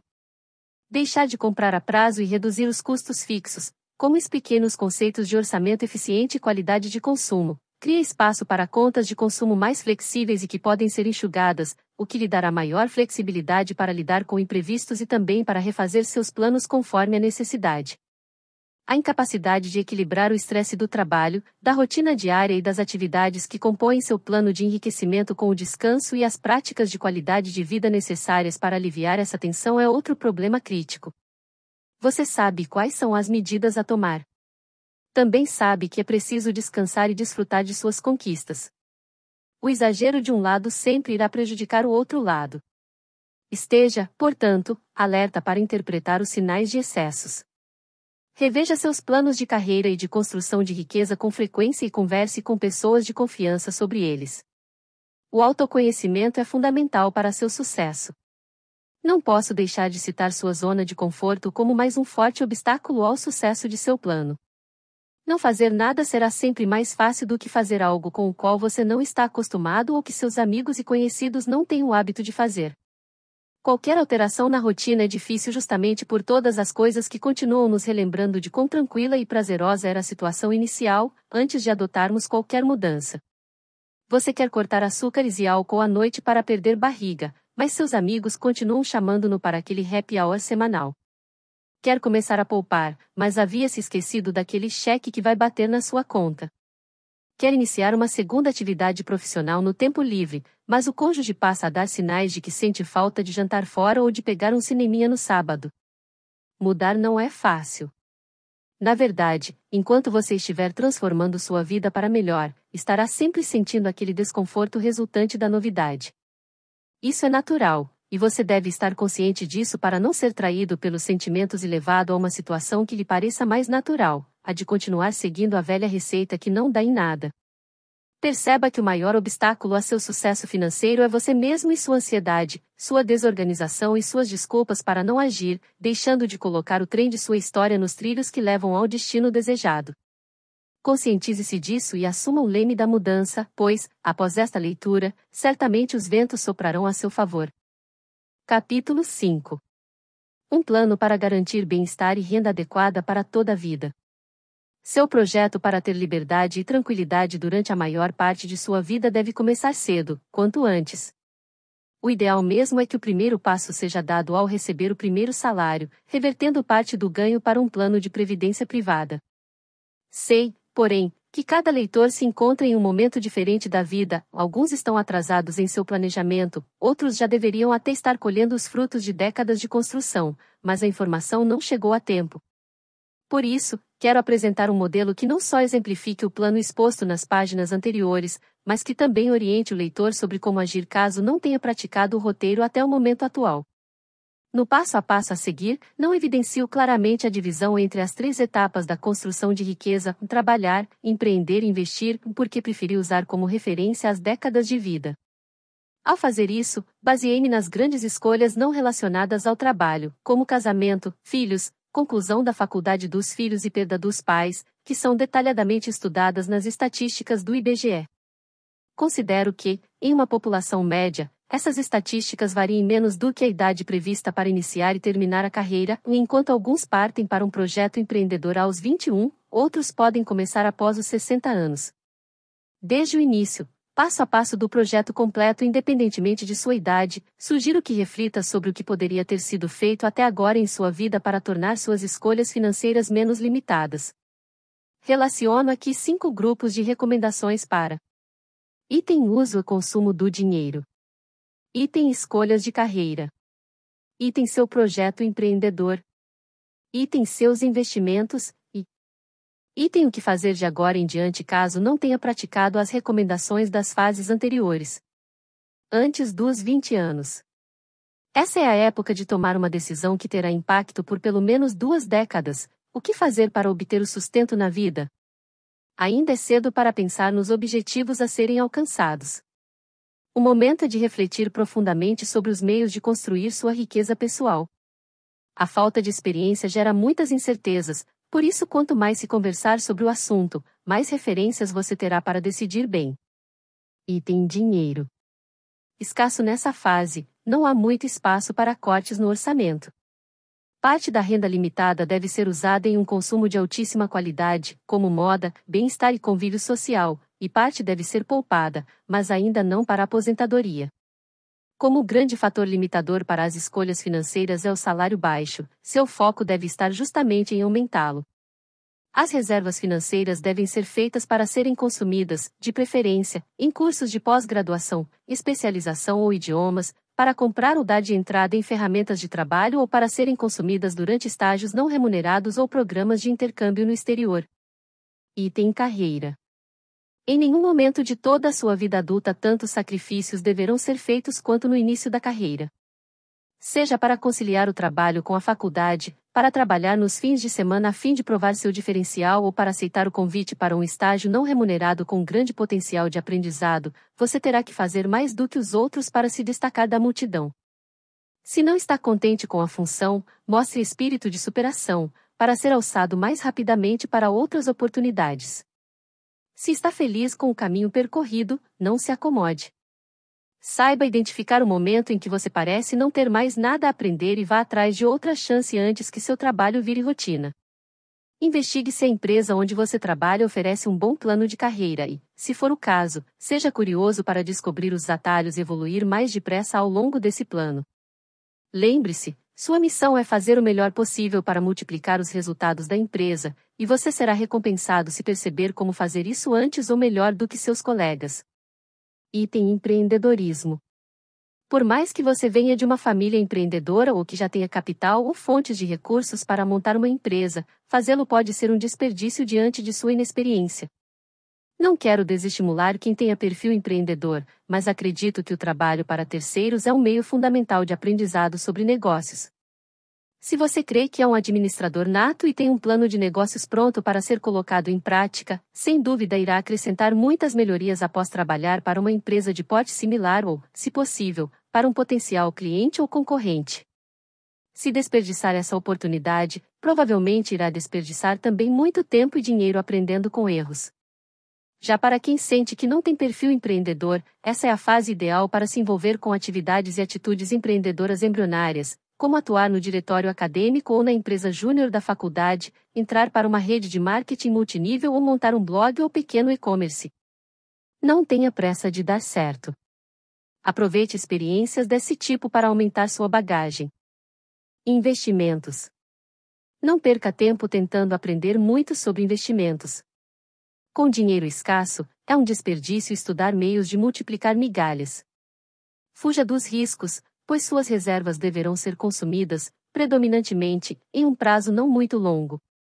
Prefira iniciar seus investimentos com a mais básica das estratégias, que consiste em começar a contribuir para um plano de previdência patrocinado. Se seus primeiros carimbos na carteira de trabalho vierem de empresas que oferecem planos patrocinados mesmo aos níveis hierárquicos mais baixos, agradeça aos céus e comece a contribuir, mesmo que não vá ficar muito tempo na empresa. Contribuir para o INSS. Como a contribuição é obrigatória e automática por parte do empregador, essa orientação é apenas para quem optar por uma carreira autônoma ou liberal. Vale pela proteção social a fatores de risco não cobertos por outros investimentos ou seguros. Acumular uma reserva de emergências. O equivalente a três meses de consumo é o ideal, investidos com liquidez, disponibilidade imediata, se necessário, em caderneta de poupança ou fundo de renda fixa. Somente depois de ter esse valor poupado é que você deve priorizar investimentos para outros objetivos. Se sacado por qualquer motivo, encare sacrifícios maiores para recompô-lo quanto antes. Poupar para desenvolver seus estudos. Quando a renda é reduzida, não há sentido em fazer grandes esforços para o futuro, pois o máximo que vai conseguir é uma aposentadoria também reduzida após muito esforço. Suas reservas financeiras devem ser feitas prioritariamente, portanto, para pagar seus próximos cursos. Por isso, também devem se destinar a investimentos conservadores, como títulos públicos. Se puder poupar mais, não complique. Investimentos complexos tomarão seu tempo com aprendizado e acompanhamento, tirando o foco do desenvolvimento da carreira, que é o que realmente importa nessa fase. Por isso, prefira modalidades mais convenientes, como um plano de previdência privada já pensando em garantir renda futura ou aplicações maiores no plano da empresa, mesmo que sem o patrocínio. Começando nessa idade.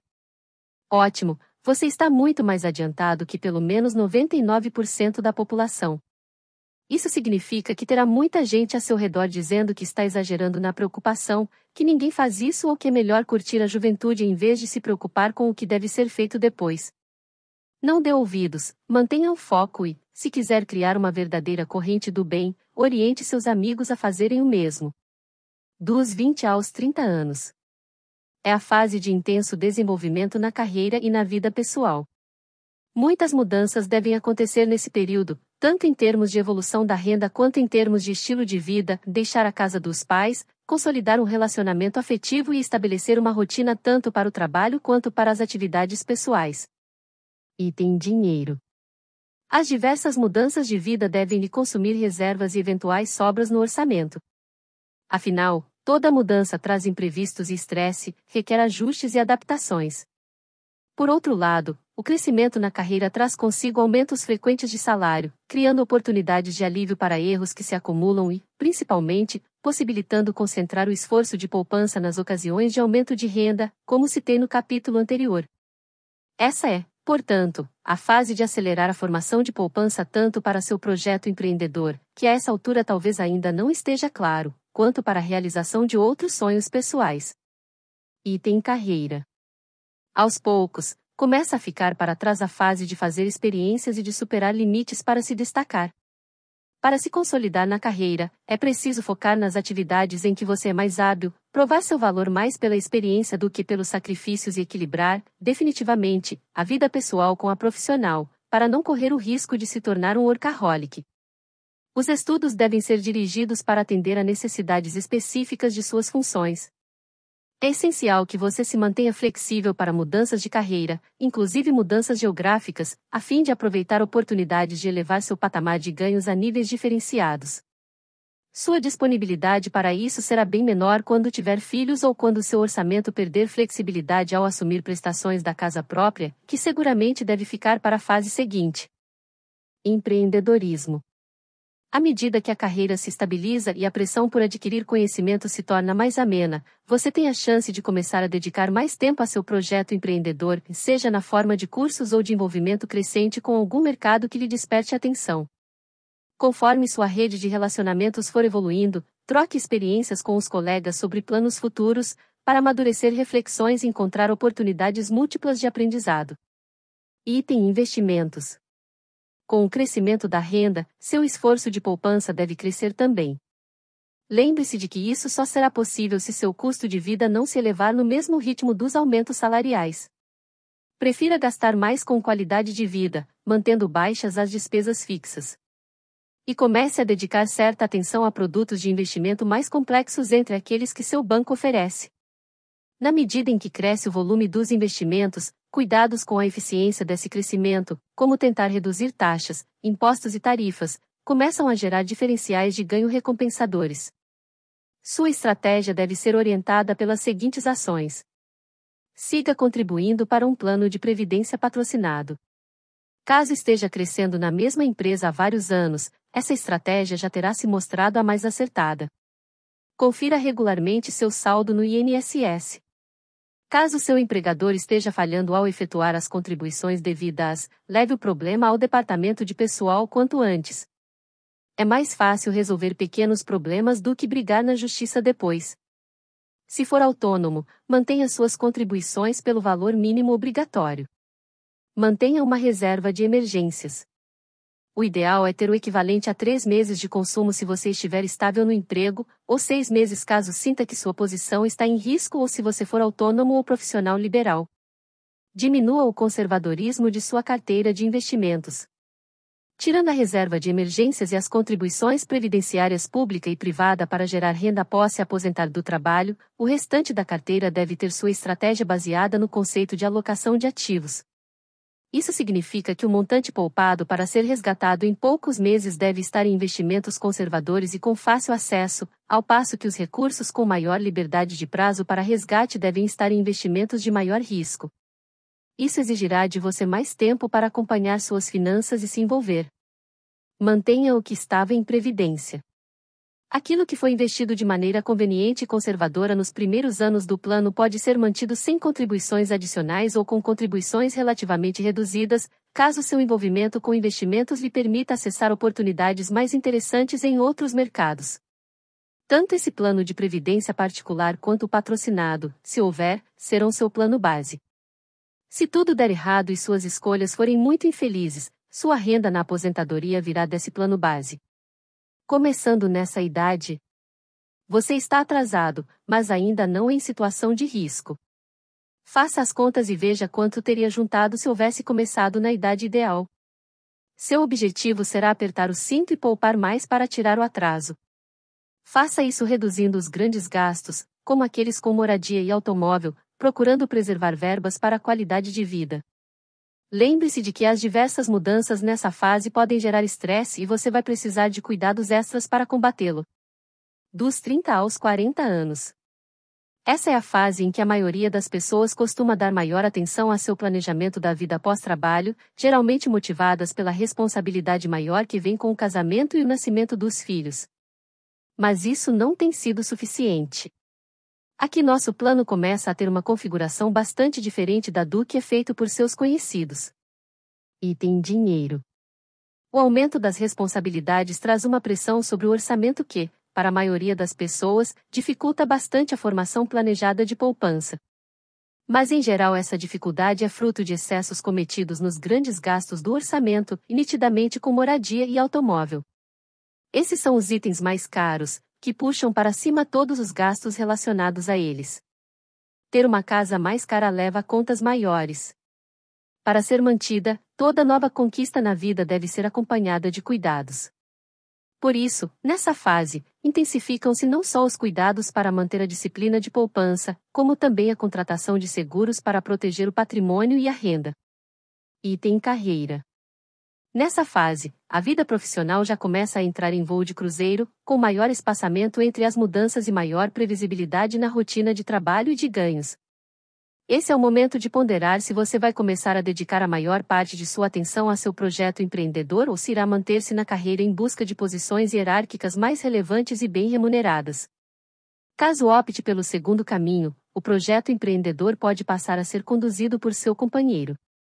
Em hipótese alguma deve ser totalmente descartado, pois se ambos optarem pelo foco na carreira, os dois terão dificuldades de manter no futuro o padrão duplamente mais sofisticado que estará sendo criado. Item empreendedorismo.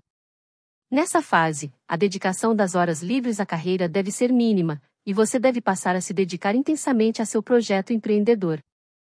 Se não tiver esse projeto ou se ele estiver muito imaturo, intensifique os cursos, a participação em eventos e feiras e a visita a amigos empreendedores.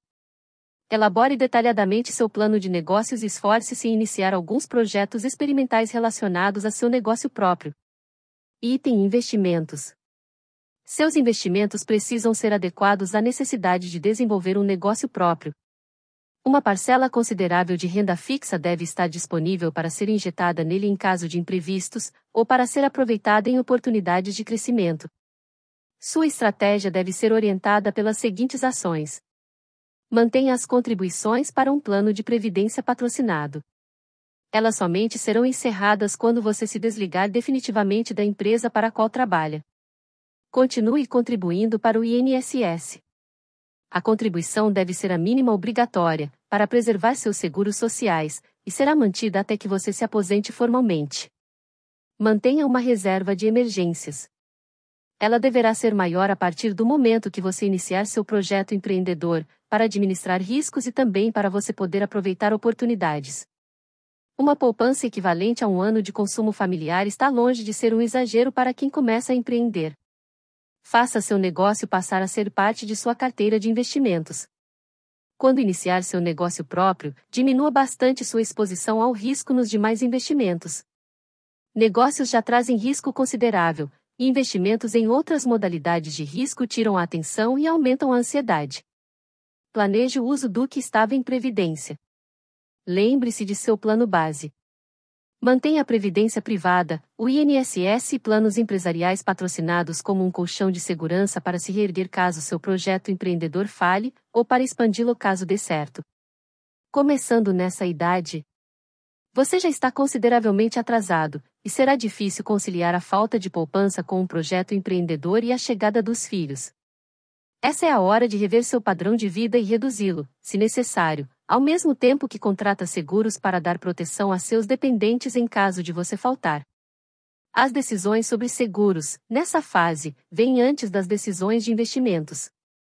Não aumente o grau de risco de seus investimentos, com o objetivo de tirar o atraso, sem que tenha conhecimento do assunto. Poupe energicamente e dedique-se a conhecer mercados de investimento em que você possa trabalhar sua atitude empreendedora para encontrar oportunidades. Dos 40 aos 50 anos. A fase mais produtiva de nossa vida é marcada por uma disposição que não é exatamente a mesma da juventude, por uma experiência que nem sempre está aliada a conhecimentos atualizados e por responsabilidades familiares, com filhos e com pais, que nos pressionam a buscar maiores ganhos e correr menores riscos. Muitos se acomodam na previsível trilha de uma carreira planejada, quando, na verdade, o ideal é aproveitar o vigor que ainda temos para ousar e seguir caminhos mais definitivos e sob nosso controle. Item dinheiro.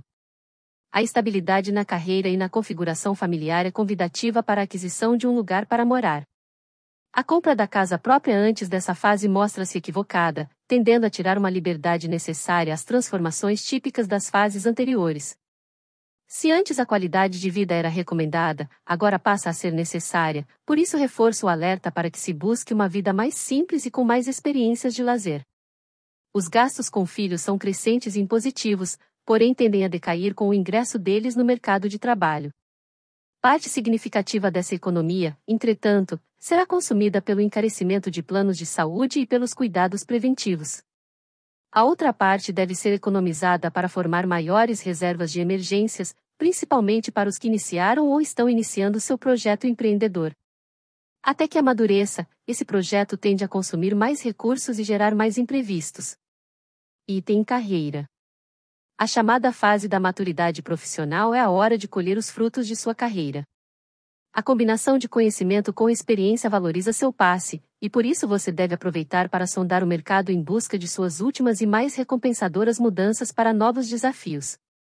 Nas negociações por cargo e salário, assegure a importância de seguir determinadas regras de agenda e de ter tempo livre para você.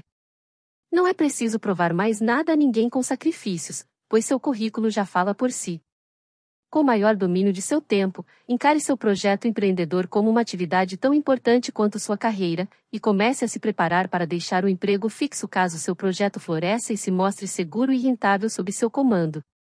Item empreendedorismo.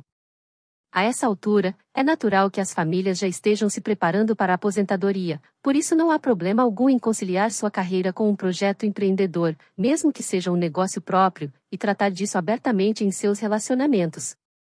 É claro que você, se for um servidor público, impedido de exercer outra atividade que não seja acadêmica, deverá respeitar essa condição e somente se dedicar ao projeto empreendedor de seu parceiro nas horas livres. Instigue colegas de trabalho a buscarem o mesmo tipo de solução para a vida deles, debata sobre o tema, ouça críticas e incorpore-as a seus planos. Esse é o momento de fazer algumas experiências empreendedoras, antes que seu projeto se torne o principal responsável pelo seu sustento, Caso pense em continuar na ativa por mais alguns anos, considere a possibilidade de entrar na carreira acadêmica, cursando mestrado ou doutorado para levar sua experiência e seu conhecimento para as salas de aula. Item Investimentos.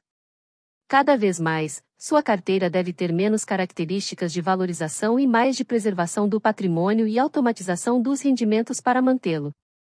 Imóveis que tinham potencial de valorização precisam ser vendidos e trocados por imóveis com bom e estável rendimento de aluguel. Carteiras de ações devem ter papéis que pagam bons dividendos. A experiência tem que ser usada para alavancar ganhos, isto é, para abordagens mais complexas que envolvam o crédito de modo a obter resultados melhores. Os principais pontos da estratégia nessa fase são: prepare-se para resgatar suas previdências. Reúna os documentos e comprovantes de planos patrocinados, do INSS e dos PGBLS e VGBLS para os quais contribuiu, consulte os respectivos administradores e verifique se está tudo certo para dar entrada na aposentadoria daqui a alguns anos. Se algo estiver errado ou faltando, é melhor correr atrás antes que se torne uma necessidade. Continue contribuindo para o INSS. Caso encerre sua carreira e inicie um projeto empreendedor, continue contribuindo com o mínimo obrigatório para o INSS, objetivando obter o benefício da aposentadoria formal por tempo de contribuição. Reforce a reserva de emergências. Quanto mais seu projeto empreendedor crescer, mais você estará sujeito a sazonalidades e novas necessidades de investimentos. Aumente significativamente sua parcela de renda fixa para ter como atravessar diversos períodos de ajustes nas contas. Avalie o sucesso de seu negócio. Após alguns anos de experiências, você já terá condições de avaliar se seu projeto empreendedor será capaz ou não de manter sua família. Em caso afirmativo, comece a preparar a transição do trabalho para a gestão exclusiva de seu projeto empreendedor. Se seu projeto for insuficiente, há dois caminhos possíveis: tocar a carreira ao mesmo tempo que leva o projeto em paralelo ou substituir seu projeto por outro. Em qualquer dos dois caminhos, você deve assumir uma nova etapa de sacrifícios, conciliando a agenda entre o trabalho, a dedicação ao projeto empreendedor e a atualização de conhecimento para manter sua empregabilidade. Começando nessa idade, Caso não tenha poupado até então e sua segurança futura limite-se apenas aos benefícios do INSS, seu grau de dependência do emprego está muito acima do ideal. Contrate uma cobertura de seguro de vida que complemente a poupança ainda não formada, para não deixar sua família sem rumo em caso de morte ou invalidez. Quanto maior a poupança, menor o valor da cobertura de seguros a ser contratada. Converse em família e considere a possibilidade de se desfazer de bens como o imóvel em que vivem ou de reduzir drasticamente o padrão do automóvel, para criar um volume de caixa a ser trabalhado como investimento. Nos investimentos tradicionais, a multiplicação desse valor não será significativa, pois o prazo é curto e o perfil deve ser cada vez mais conservador com o avançar da idade. Dedique-se com afinco ao envolvimento e aos estudos sobre um projeto empreendedor, que preferencialmente seja debatido e iniciado com alguém de sua extrema confiança. Dos 50 aos 60 anos.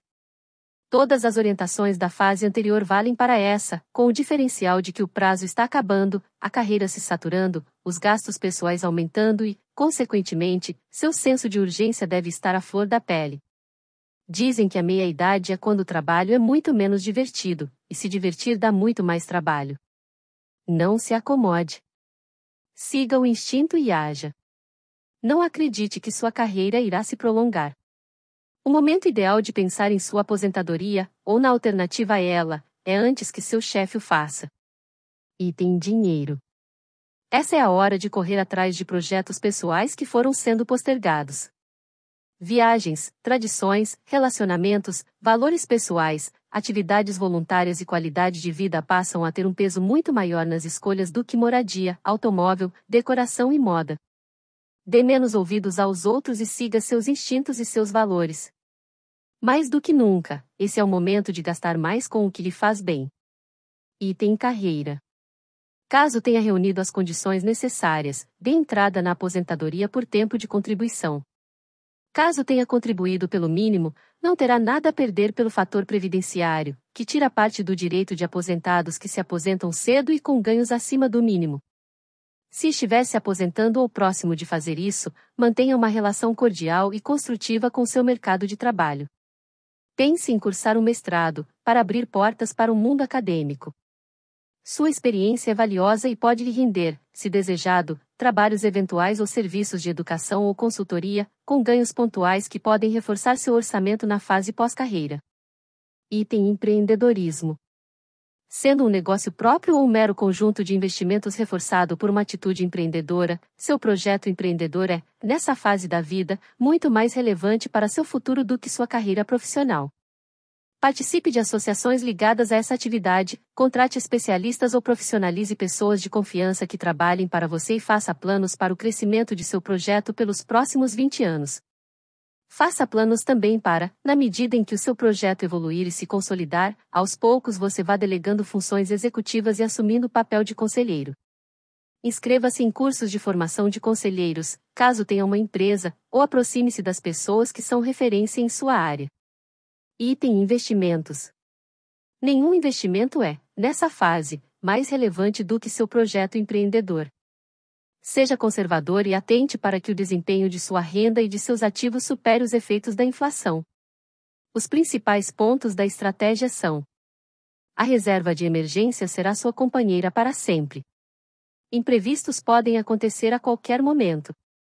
Mesmo que você tenha fontes seguras de renda e um sólido projeto empreendedor, sempre haverá situações fora do planejado ou oportunidades de aquisições vantajosas que valham o resgate da reserva para garantir um bom negócio à vista. Sempre que a reserva for consumida parcial ou totalmente, recomenda-se moderar o consumo nos meses seguintes para que ela seja recomposta. Acompanhe continuamente seus geradores de renda. Estude os indicadores financeiros para avaliar se seu projeto empreendedor está gerando dividendos crescentes. Compare seus investimentos com similares do mercado, discuta estratégias com outros empreendedores e haja quanto antes quando identificar riscos crescentes. Sacrifícios em curtos períodos. Não é porque você trabalhou a vida toda que deve esperar dessa fase apenas segurança e conforto. Lembre-se, como empreendedor, você está sujeito a riscos, e administrá-lo significa efetuar ajustes constantemente. Esteja preparado para fazer sacrifícios quando tiver uma grande oportunidade de negócios ou uma perda que exija cortes de gastos para recompor seu patrimônio.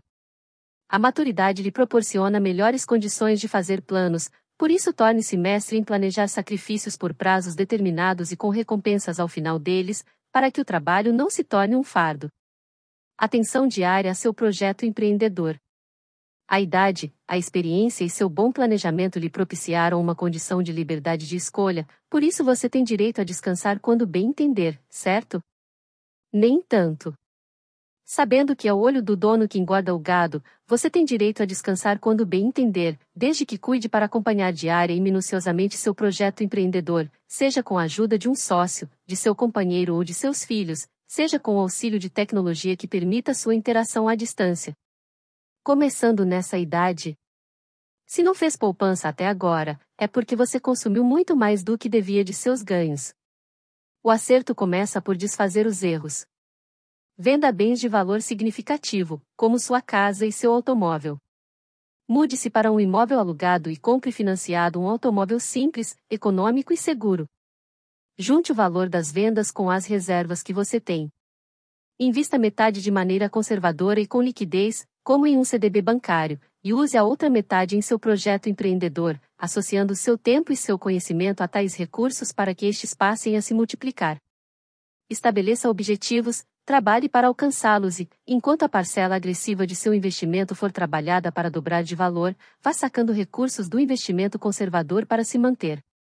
Seja racional e econômico, para poder aproveitar mais dentro de 5 ou 10 anos, afinal, você estará passando por um processo de correção de rumo.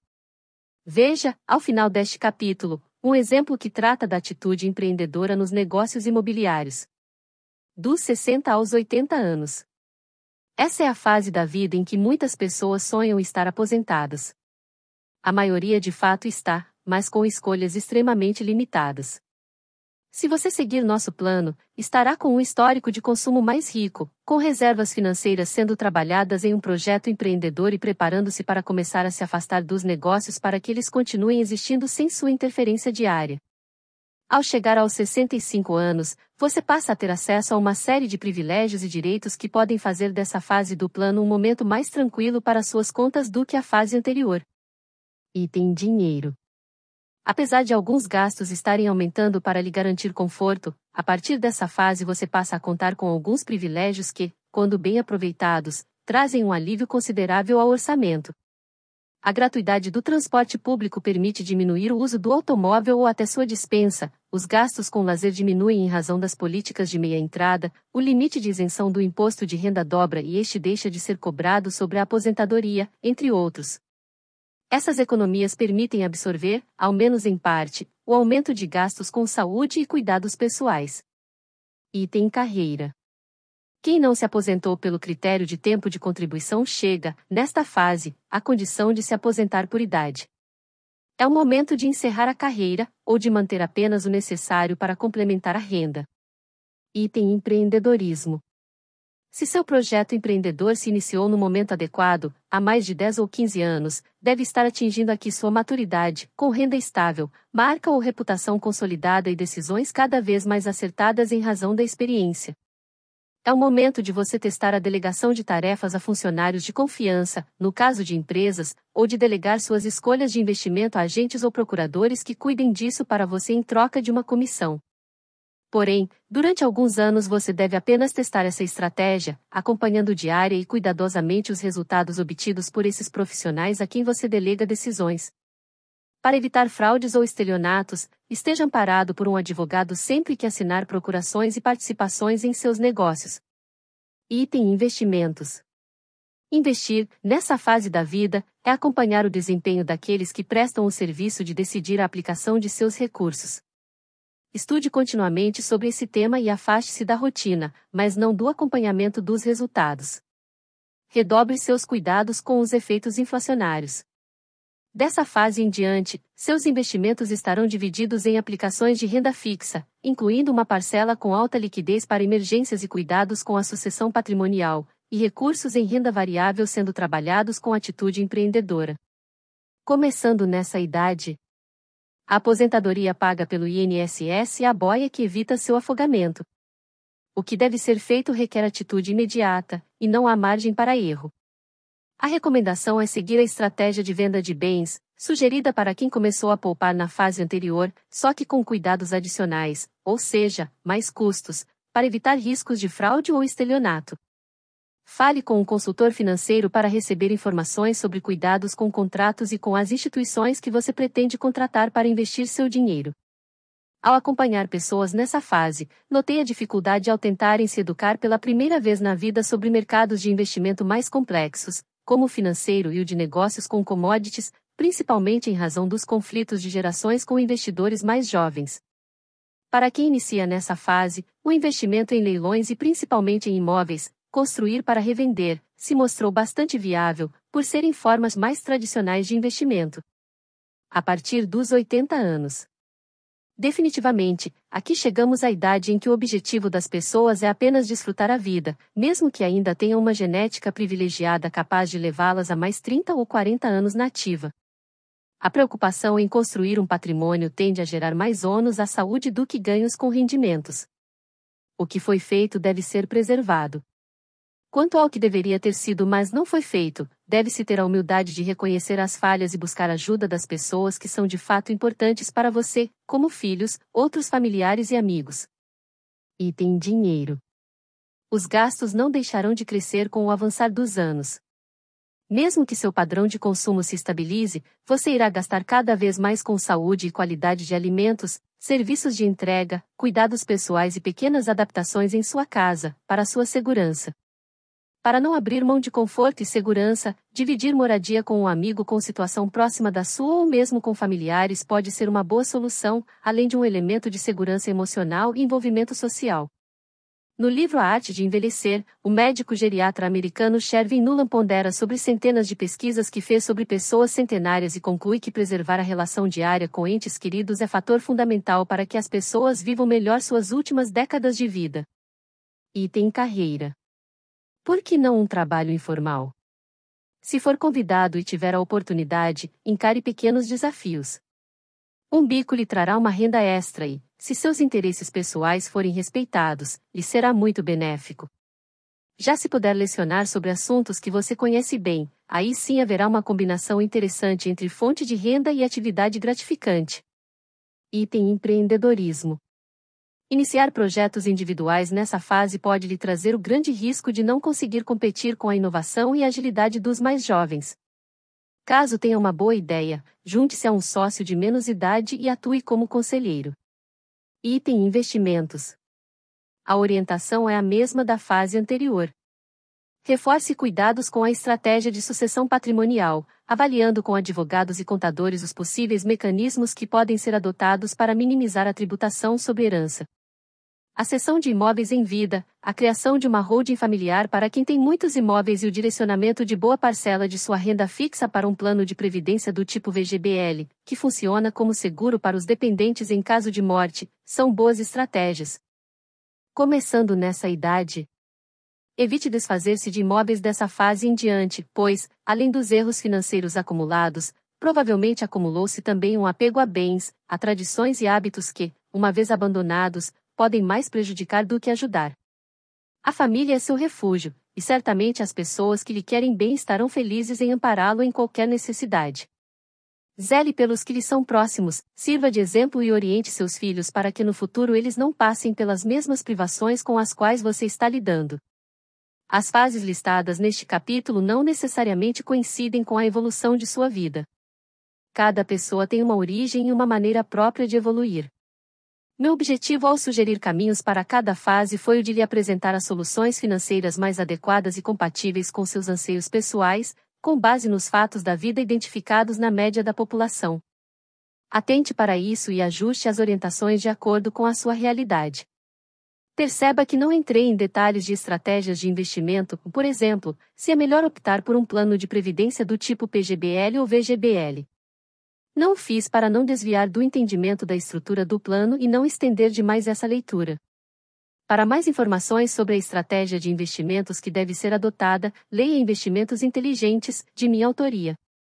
Caso prático: Atitude empreendedora nos negócios imobiliários. No início da carreira, nosso cérebro está habituado a um aprendizado intenso e contínuo, fruto da questionável e exaustiva preparação para exames vestibulares, trabalhos de faculdade, dinâmicas de grupo em processos de seleção e a própria competição agressiva do mercado de trabalho. Com o tempo, a carreira entra em voo de cruzeiro, diminuímos o ritmo do aprendizado e, como não deveria deixar de ser, nosso cérebro fica mais preguiçoso. O hábito de aprender perde a força com o passar dos anos. Para evitar isso, que é também um dos fatores de aceleração do envelhecimento, o ideal é adotar o aprendizado como um ritual contínuo ao longo da vida. Minha recomendação para dividir esse aprendizado em três etapas: educação para o trabalho, para empreender e para investir, torna essa tarefa mais simples e instigante. No entanto, muitos que buscaram neste livro uma solução para sua aposentadoria, querendo recuperar o tempo perdido, provavelmente já não se sentem tão motivados a aprender quanto há algum tempo. Não me refiro aqui ao aprendizado de coisas agradáveis e ligadas a nossos grandes interesses, como história, viagens, gastronomia e família. Refiro-me ao aprendizado necessário para facilitar decisões complexas, como o estudo de mercados de investimento, cálculo de risco, assuntos atuariais, política e macroeconomia. Hoje os mercados de investimento são complexos e dotados de ferramentas tecnológicas para nos mantermos atualizados segundo a segundo e também para agirmos de maneira mais célere diante de qualquer oportunidade. Para a chamada geração Z, formada por jovens que nasceram imersos na tecnologia, manipular e aprender sobre essas tecnologias é como escovar os dentes, faz parte da rotina. Para aqueles da geração X e acima, com mais de 40 anos, estudar essas ferramentas e as técnicas dos mercados é como submeter os neuronios a uma outra maratona. Muitos simplesmente travam diante de tanta informação e tanto vocabulário técnico. Acredito que, com paciência, dedicação e envolvimento, esse bloqueio é superado com o tempo. Um alento para quem não se sente à vontade com a exploração de novos mercados é saber que ainda é possível realizar grandes investimentos à moda antiga em mercados tradicionais. Nos últimos anos, participei de programas de preparação para a aposentadoria em diversas empresas e cooperativas de crédito, e a realidade que encontrei nesses eventos foi razoavelmente uniforme. Em geral, os participantes eram pessoas entre 55 e 65 anos, há poucos anos ou há meses de se aposentar e se desligar por completo da rotina de trabalho, com algumas centenas de milhares de reais acumulados em um plano de previdência patrocinado ou particular, conscientes de que o dinheiro acumulado seria pouco para os anos seguintes e, invariavelmente, descrentes de que seu futuro poderia ser melhor do que o presente. Iniciavam o treinamento como se estivessem sendo preparados para o corredor da morte, sem ânimo algum. Foi desses programas que, após debater soluções e testar estratégias com os participantes, nasceu um modelo de atitude empreendedora que passou a ser adotado em quase 100% das situações em que deparo com aposentados desanimados que têm pouco dinheiro reservado e muito medo do futuro. O modelo consiste nos seguintes fatores: e tem poucos recursos. Quem dá entrada na aposentadoria passa a ter acesso a seu saldo no FGTS, aos saldos nos planos de previdência patrocinados e ainda a renda da aposentadoria do INSS. E tem perspectivas limitadas. Em geral, são pessoas que já estão com a casa própria quitada e que possuem poucas reservas além das citadas acima. A soma dessas reservas, se bem aplicada, cria uma renda complementar ao INSS que raramente permite que o padrão de vida atual do aposentando seja mantido, ou então permite que seja mantido hoje, mas sem vislumbres de um crescimento ao longo dos próximos anos. Item novo paradigma. No lugar do investimento conservador e insuficiente, proponho aos aposentados que vendam a casa e somem o valor ao patrimônio financeiro disponível. Como assim? É o comentário que ouço ao propor isso. Sim, é um novo paradigma, mas que funciona bem. E tem solução para a moradia.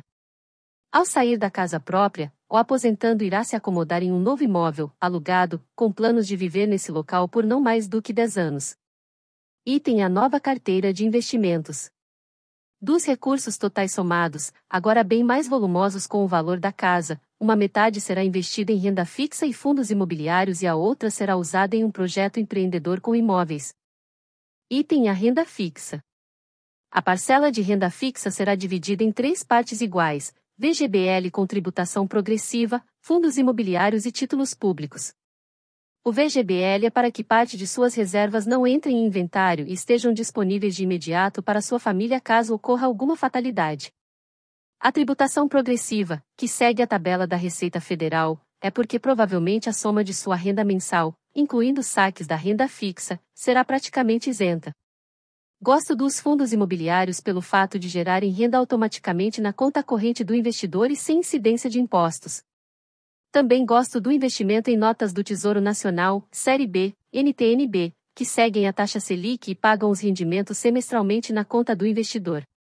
Se os rendimentos totais mensais não forem suficientes para pagar as contas do orçamento, uma pequena parte poderá ser sacada do VGBL. Item o projeto empreendedor. Para a parte de risco do capital, a sugestão é comprar um terreno e construir casas geminadas para revender. Ao longo de 15 a 20 meses de obra, com acompanhamento frequente e atenção aos custos, é possível revender cada casa com lucro entre 40% e 70% acima do que foi gasto. Item ganhos sobre ganhos. Uma vez apurado o lucro e com os impostos pagos, soma-se novamente todos os recursos disponíveis e parte-se para um novo ciclo, com a mesma estratégia de dividir o dinheiro entre renda fixa e a construção de casas. Item A união faz a força.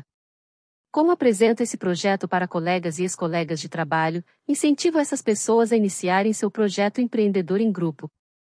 Cada um empreende individualmente em sua localidade, mas todos discutem juntos estratégias de contratação conjunta de um único arquiteto e um único engenheiro, criam uma empreiteira própria, realizam pesquisas frequentes de preços para encontrar materiais mais baratos, compram em escala em busca de menor preço e revejam-se no acompanhamento de várias obras para evitar desperdícios, perdas, furtos e atrasos. Item fugindo do aluguel. O ideal é começar com casas populares, mais fáceis de vender. Com o crescimento do patrimônio, após duas ou três rodadas, já é possível construir mais casas de uma vez, ou até mesmo casas de melhor padrão. Aqui cria-se a oportunidade de fugir do aluguel. Ao concluir um projeto de três ou quatro casas de um padrão que agrade ao investidor, ele passa a morar em uma delas e vende as demais. Mesmo assim, ao final desse ciclo o dinheiro acumulado é maior do que o investido na obra. Item blindagem contra imprevistos. Documente seus planos, seus controles e suas planilhas, e mantenha alguém de confiança informado sobre seus projetos. Caso você saia de férias ou tenha necessidade de afastamento por questões de saúde, seu projeto empreendedor não pode parar de gerar resultados, pois sua sobrevivência depende do sucesso dele. Aproveite a estratégia de contratação em grupo para contar sempre com o suporte de um bom advogado, um bom corretor de imóveis e um bom contador. Item avaliando resultados. Ao final de 10 anos, estima-se que o capital tenha pelo menos dobrado em termos reais, ou seja, acima do crescimento da inflação, e que o investidor já tenha voltado a morar em uma casa própria e quitada. Poderia se aposentar, mas, com um projeto tão interessante em mãos e com a experiência acumulada, pergunto: por que parar? Capítulo 6 Uma sociedade mais rica e melhor. Da consciência capitalista à prática. Quando discuti sobre a consciência capitalista, no capítulo 3, mostrei as oportunidades proporcionadas por uma educação igualitária que dê esclarecimento às pessoas e que as conduza por um processo de aprendizado para o trabalho, para o empreendedorismo e para os investimentos. Em uma visão de sociedade ideal, teríamos os mais velhos com patrimônio acumulado, e os mais jovens batalhando com autonomia por chances de mostrar sua capacidade de multiplicar o capital dos mais velhos enquanto acumulam seu próprio capital, para futuramente ser multiplicado por novos jovens. Obviamente, essa é uma visão utópica, pois considera que teremos a educação e o esclarecimento chegando uniformemente a todos e que não enfrentaremos mais interesses políticos contrários a isso. Porém, apesar de o capitalismo democrático e sustentável ser uma utopia, é uma referência a ser perseguida, nem que seja pelos mais esclarecidos. Se um em cada cinco trabalhadores seguir esse modelo ao longo da vida, no mínimo estará garantindo capital e educação empreendedora para assegurar emprego aos outros quatro que não foram esclarecidos a tempo. Basta que apenas a parcela mais adequadamente educada da sociedade pense dessa maneira para que criemos a condição de gerar empregos, renda e pagamento de tributos crescentes em um país cuja população ainda aumenta, propiciando a evolução favorável da economia e do bem-estar. A transformação para uma sociedade melhor, mais rica, mais consciente, menos dependente do governo e menos preocupada com o amanhã, é possível. Precisamos apenas agir, porque escolhas bem-sucedidas para o dinheiro multiplicam o bem-estar entre inúmeras famílias. Ao buscar respostas para esse assunto, você está fazendo sua parte.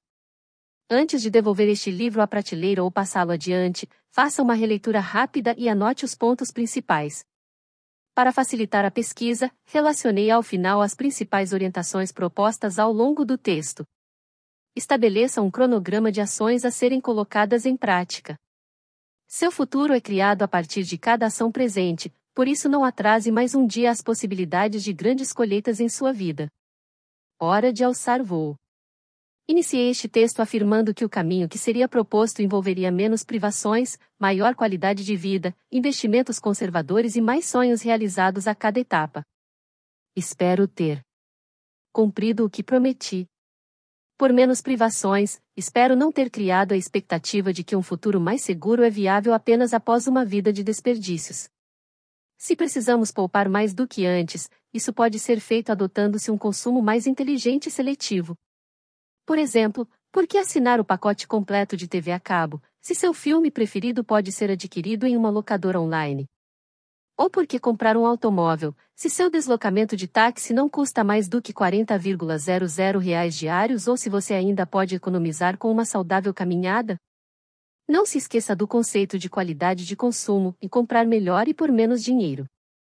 Ao propor mais qualidade de vida e mais sonhos realizados, leva em consideração que provavelmente você terá que poupar por alguns anos a mais do que planejara. Isso é um problema? Não, se você decidir viver melhor e com menos pressa para se aposentar. Lembre-se, poupar para o futuro não deve ser visto como uma troca do hoje pelo amanhã, mas como uma maneira de sustentar amanhã as escolhas acertadas de hoje. A proposta que fiz foi adotar uma combinação de melhora na qualidade de vida, mais tempo em atividade e com esforço poupador e incentivo à educação ao longo de toda a sua existência. Espero ter deixado claro que, mais do que discutir caminhos para a aposentadoria, devemos entender mesmo é que simplesmente deixou de existir aquele modelo de aposentadoria que funcionava no passado e que hoje não se sustenta. É paradoxal passar décadas sonhando com o fim do trabalho aos 65, para então chegar a essa idade e passar a sonhar em conseguir trabalho para pagar as contas. Seria mesmo o fim da aposentadoria?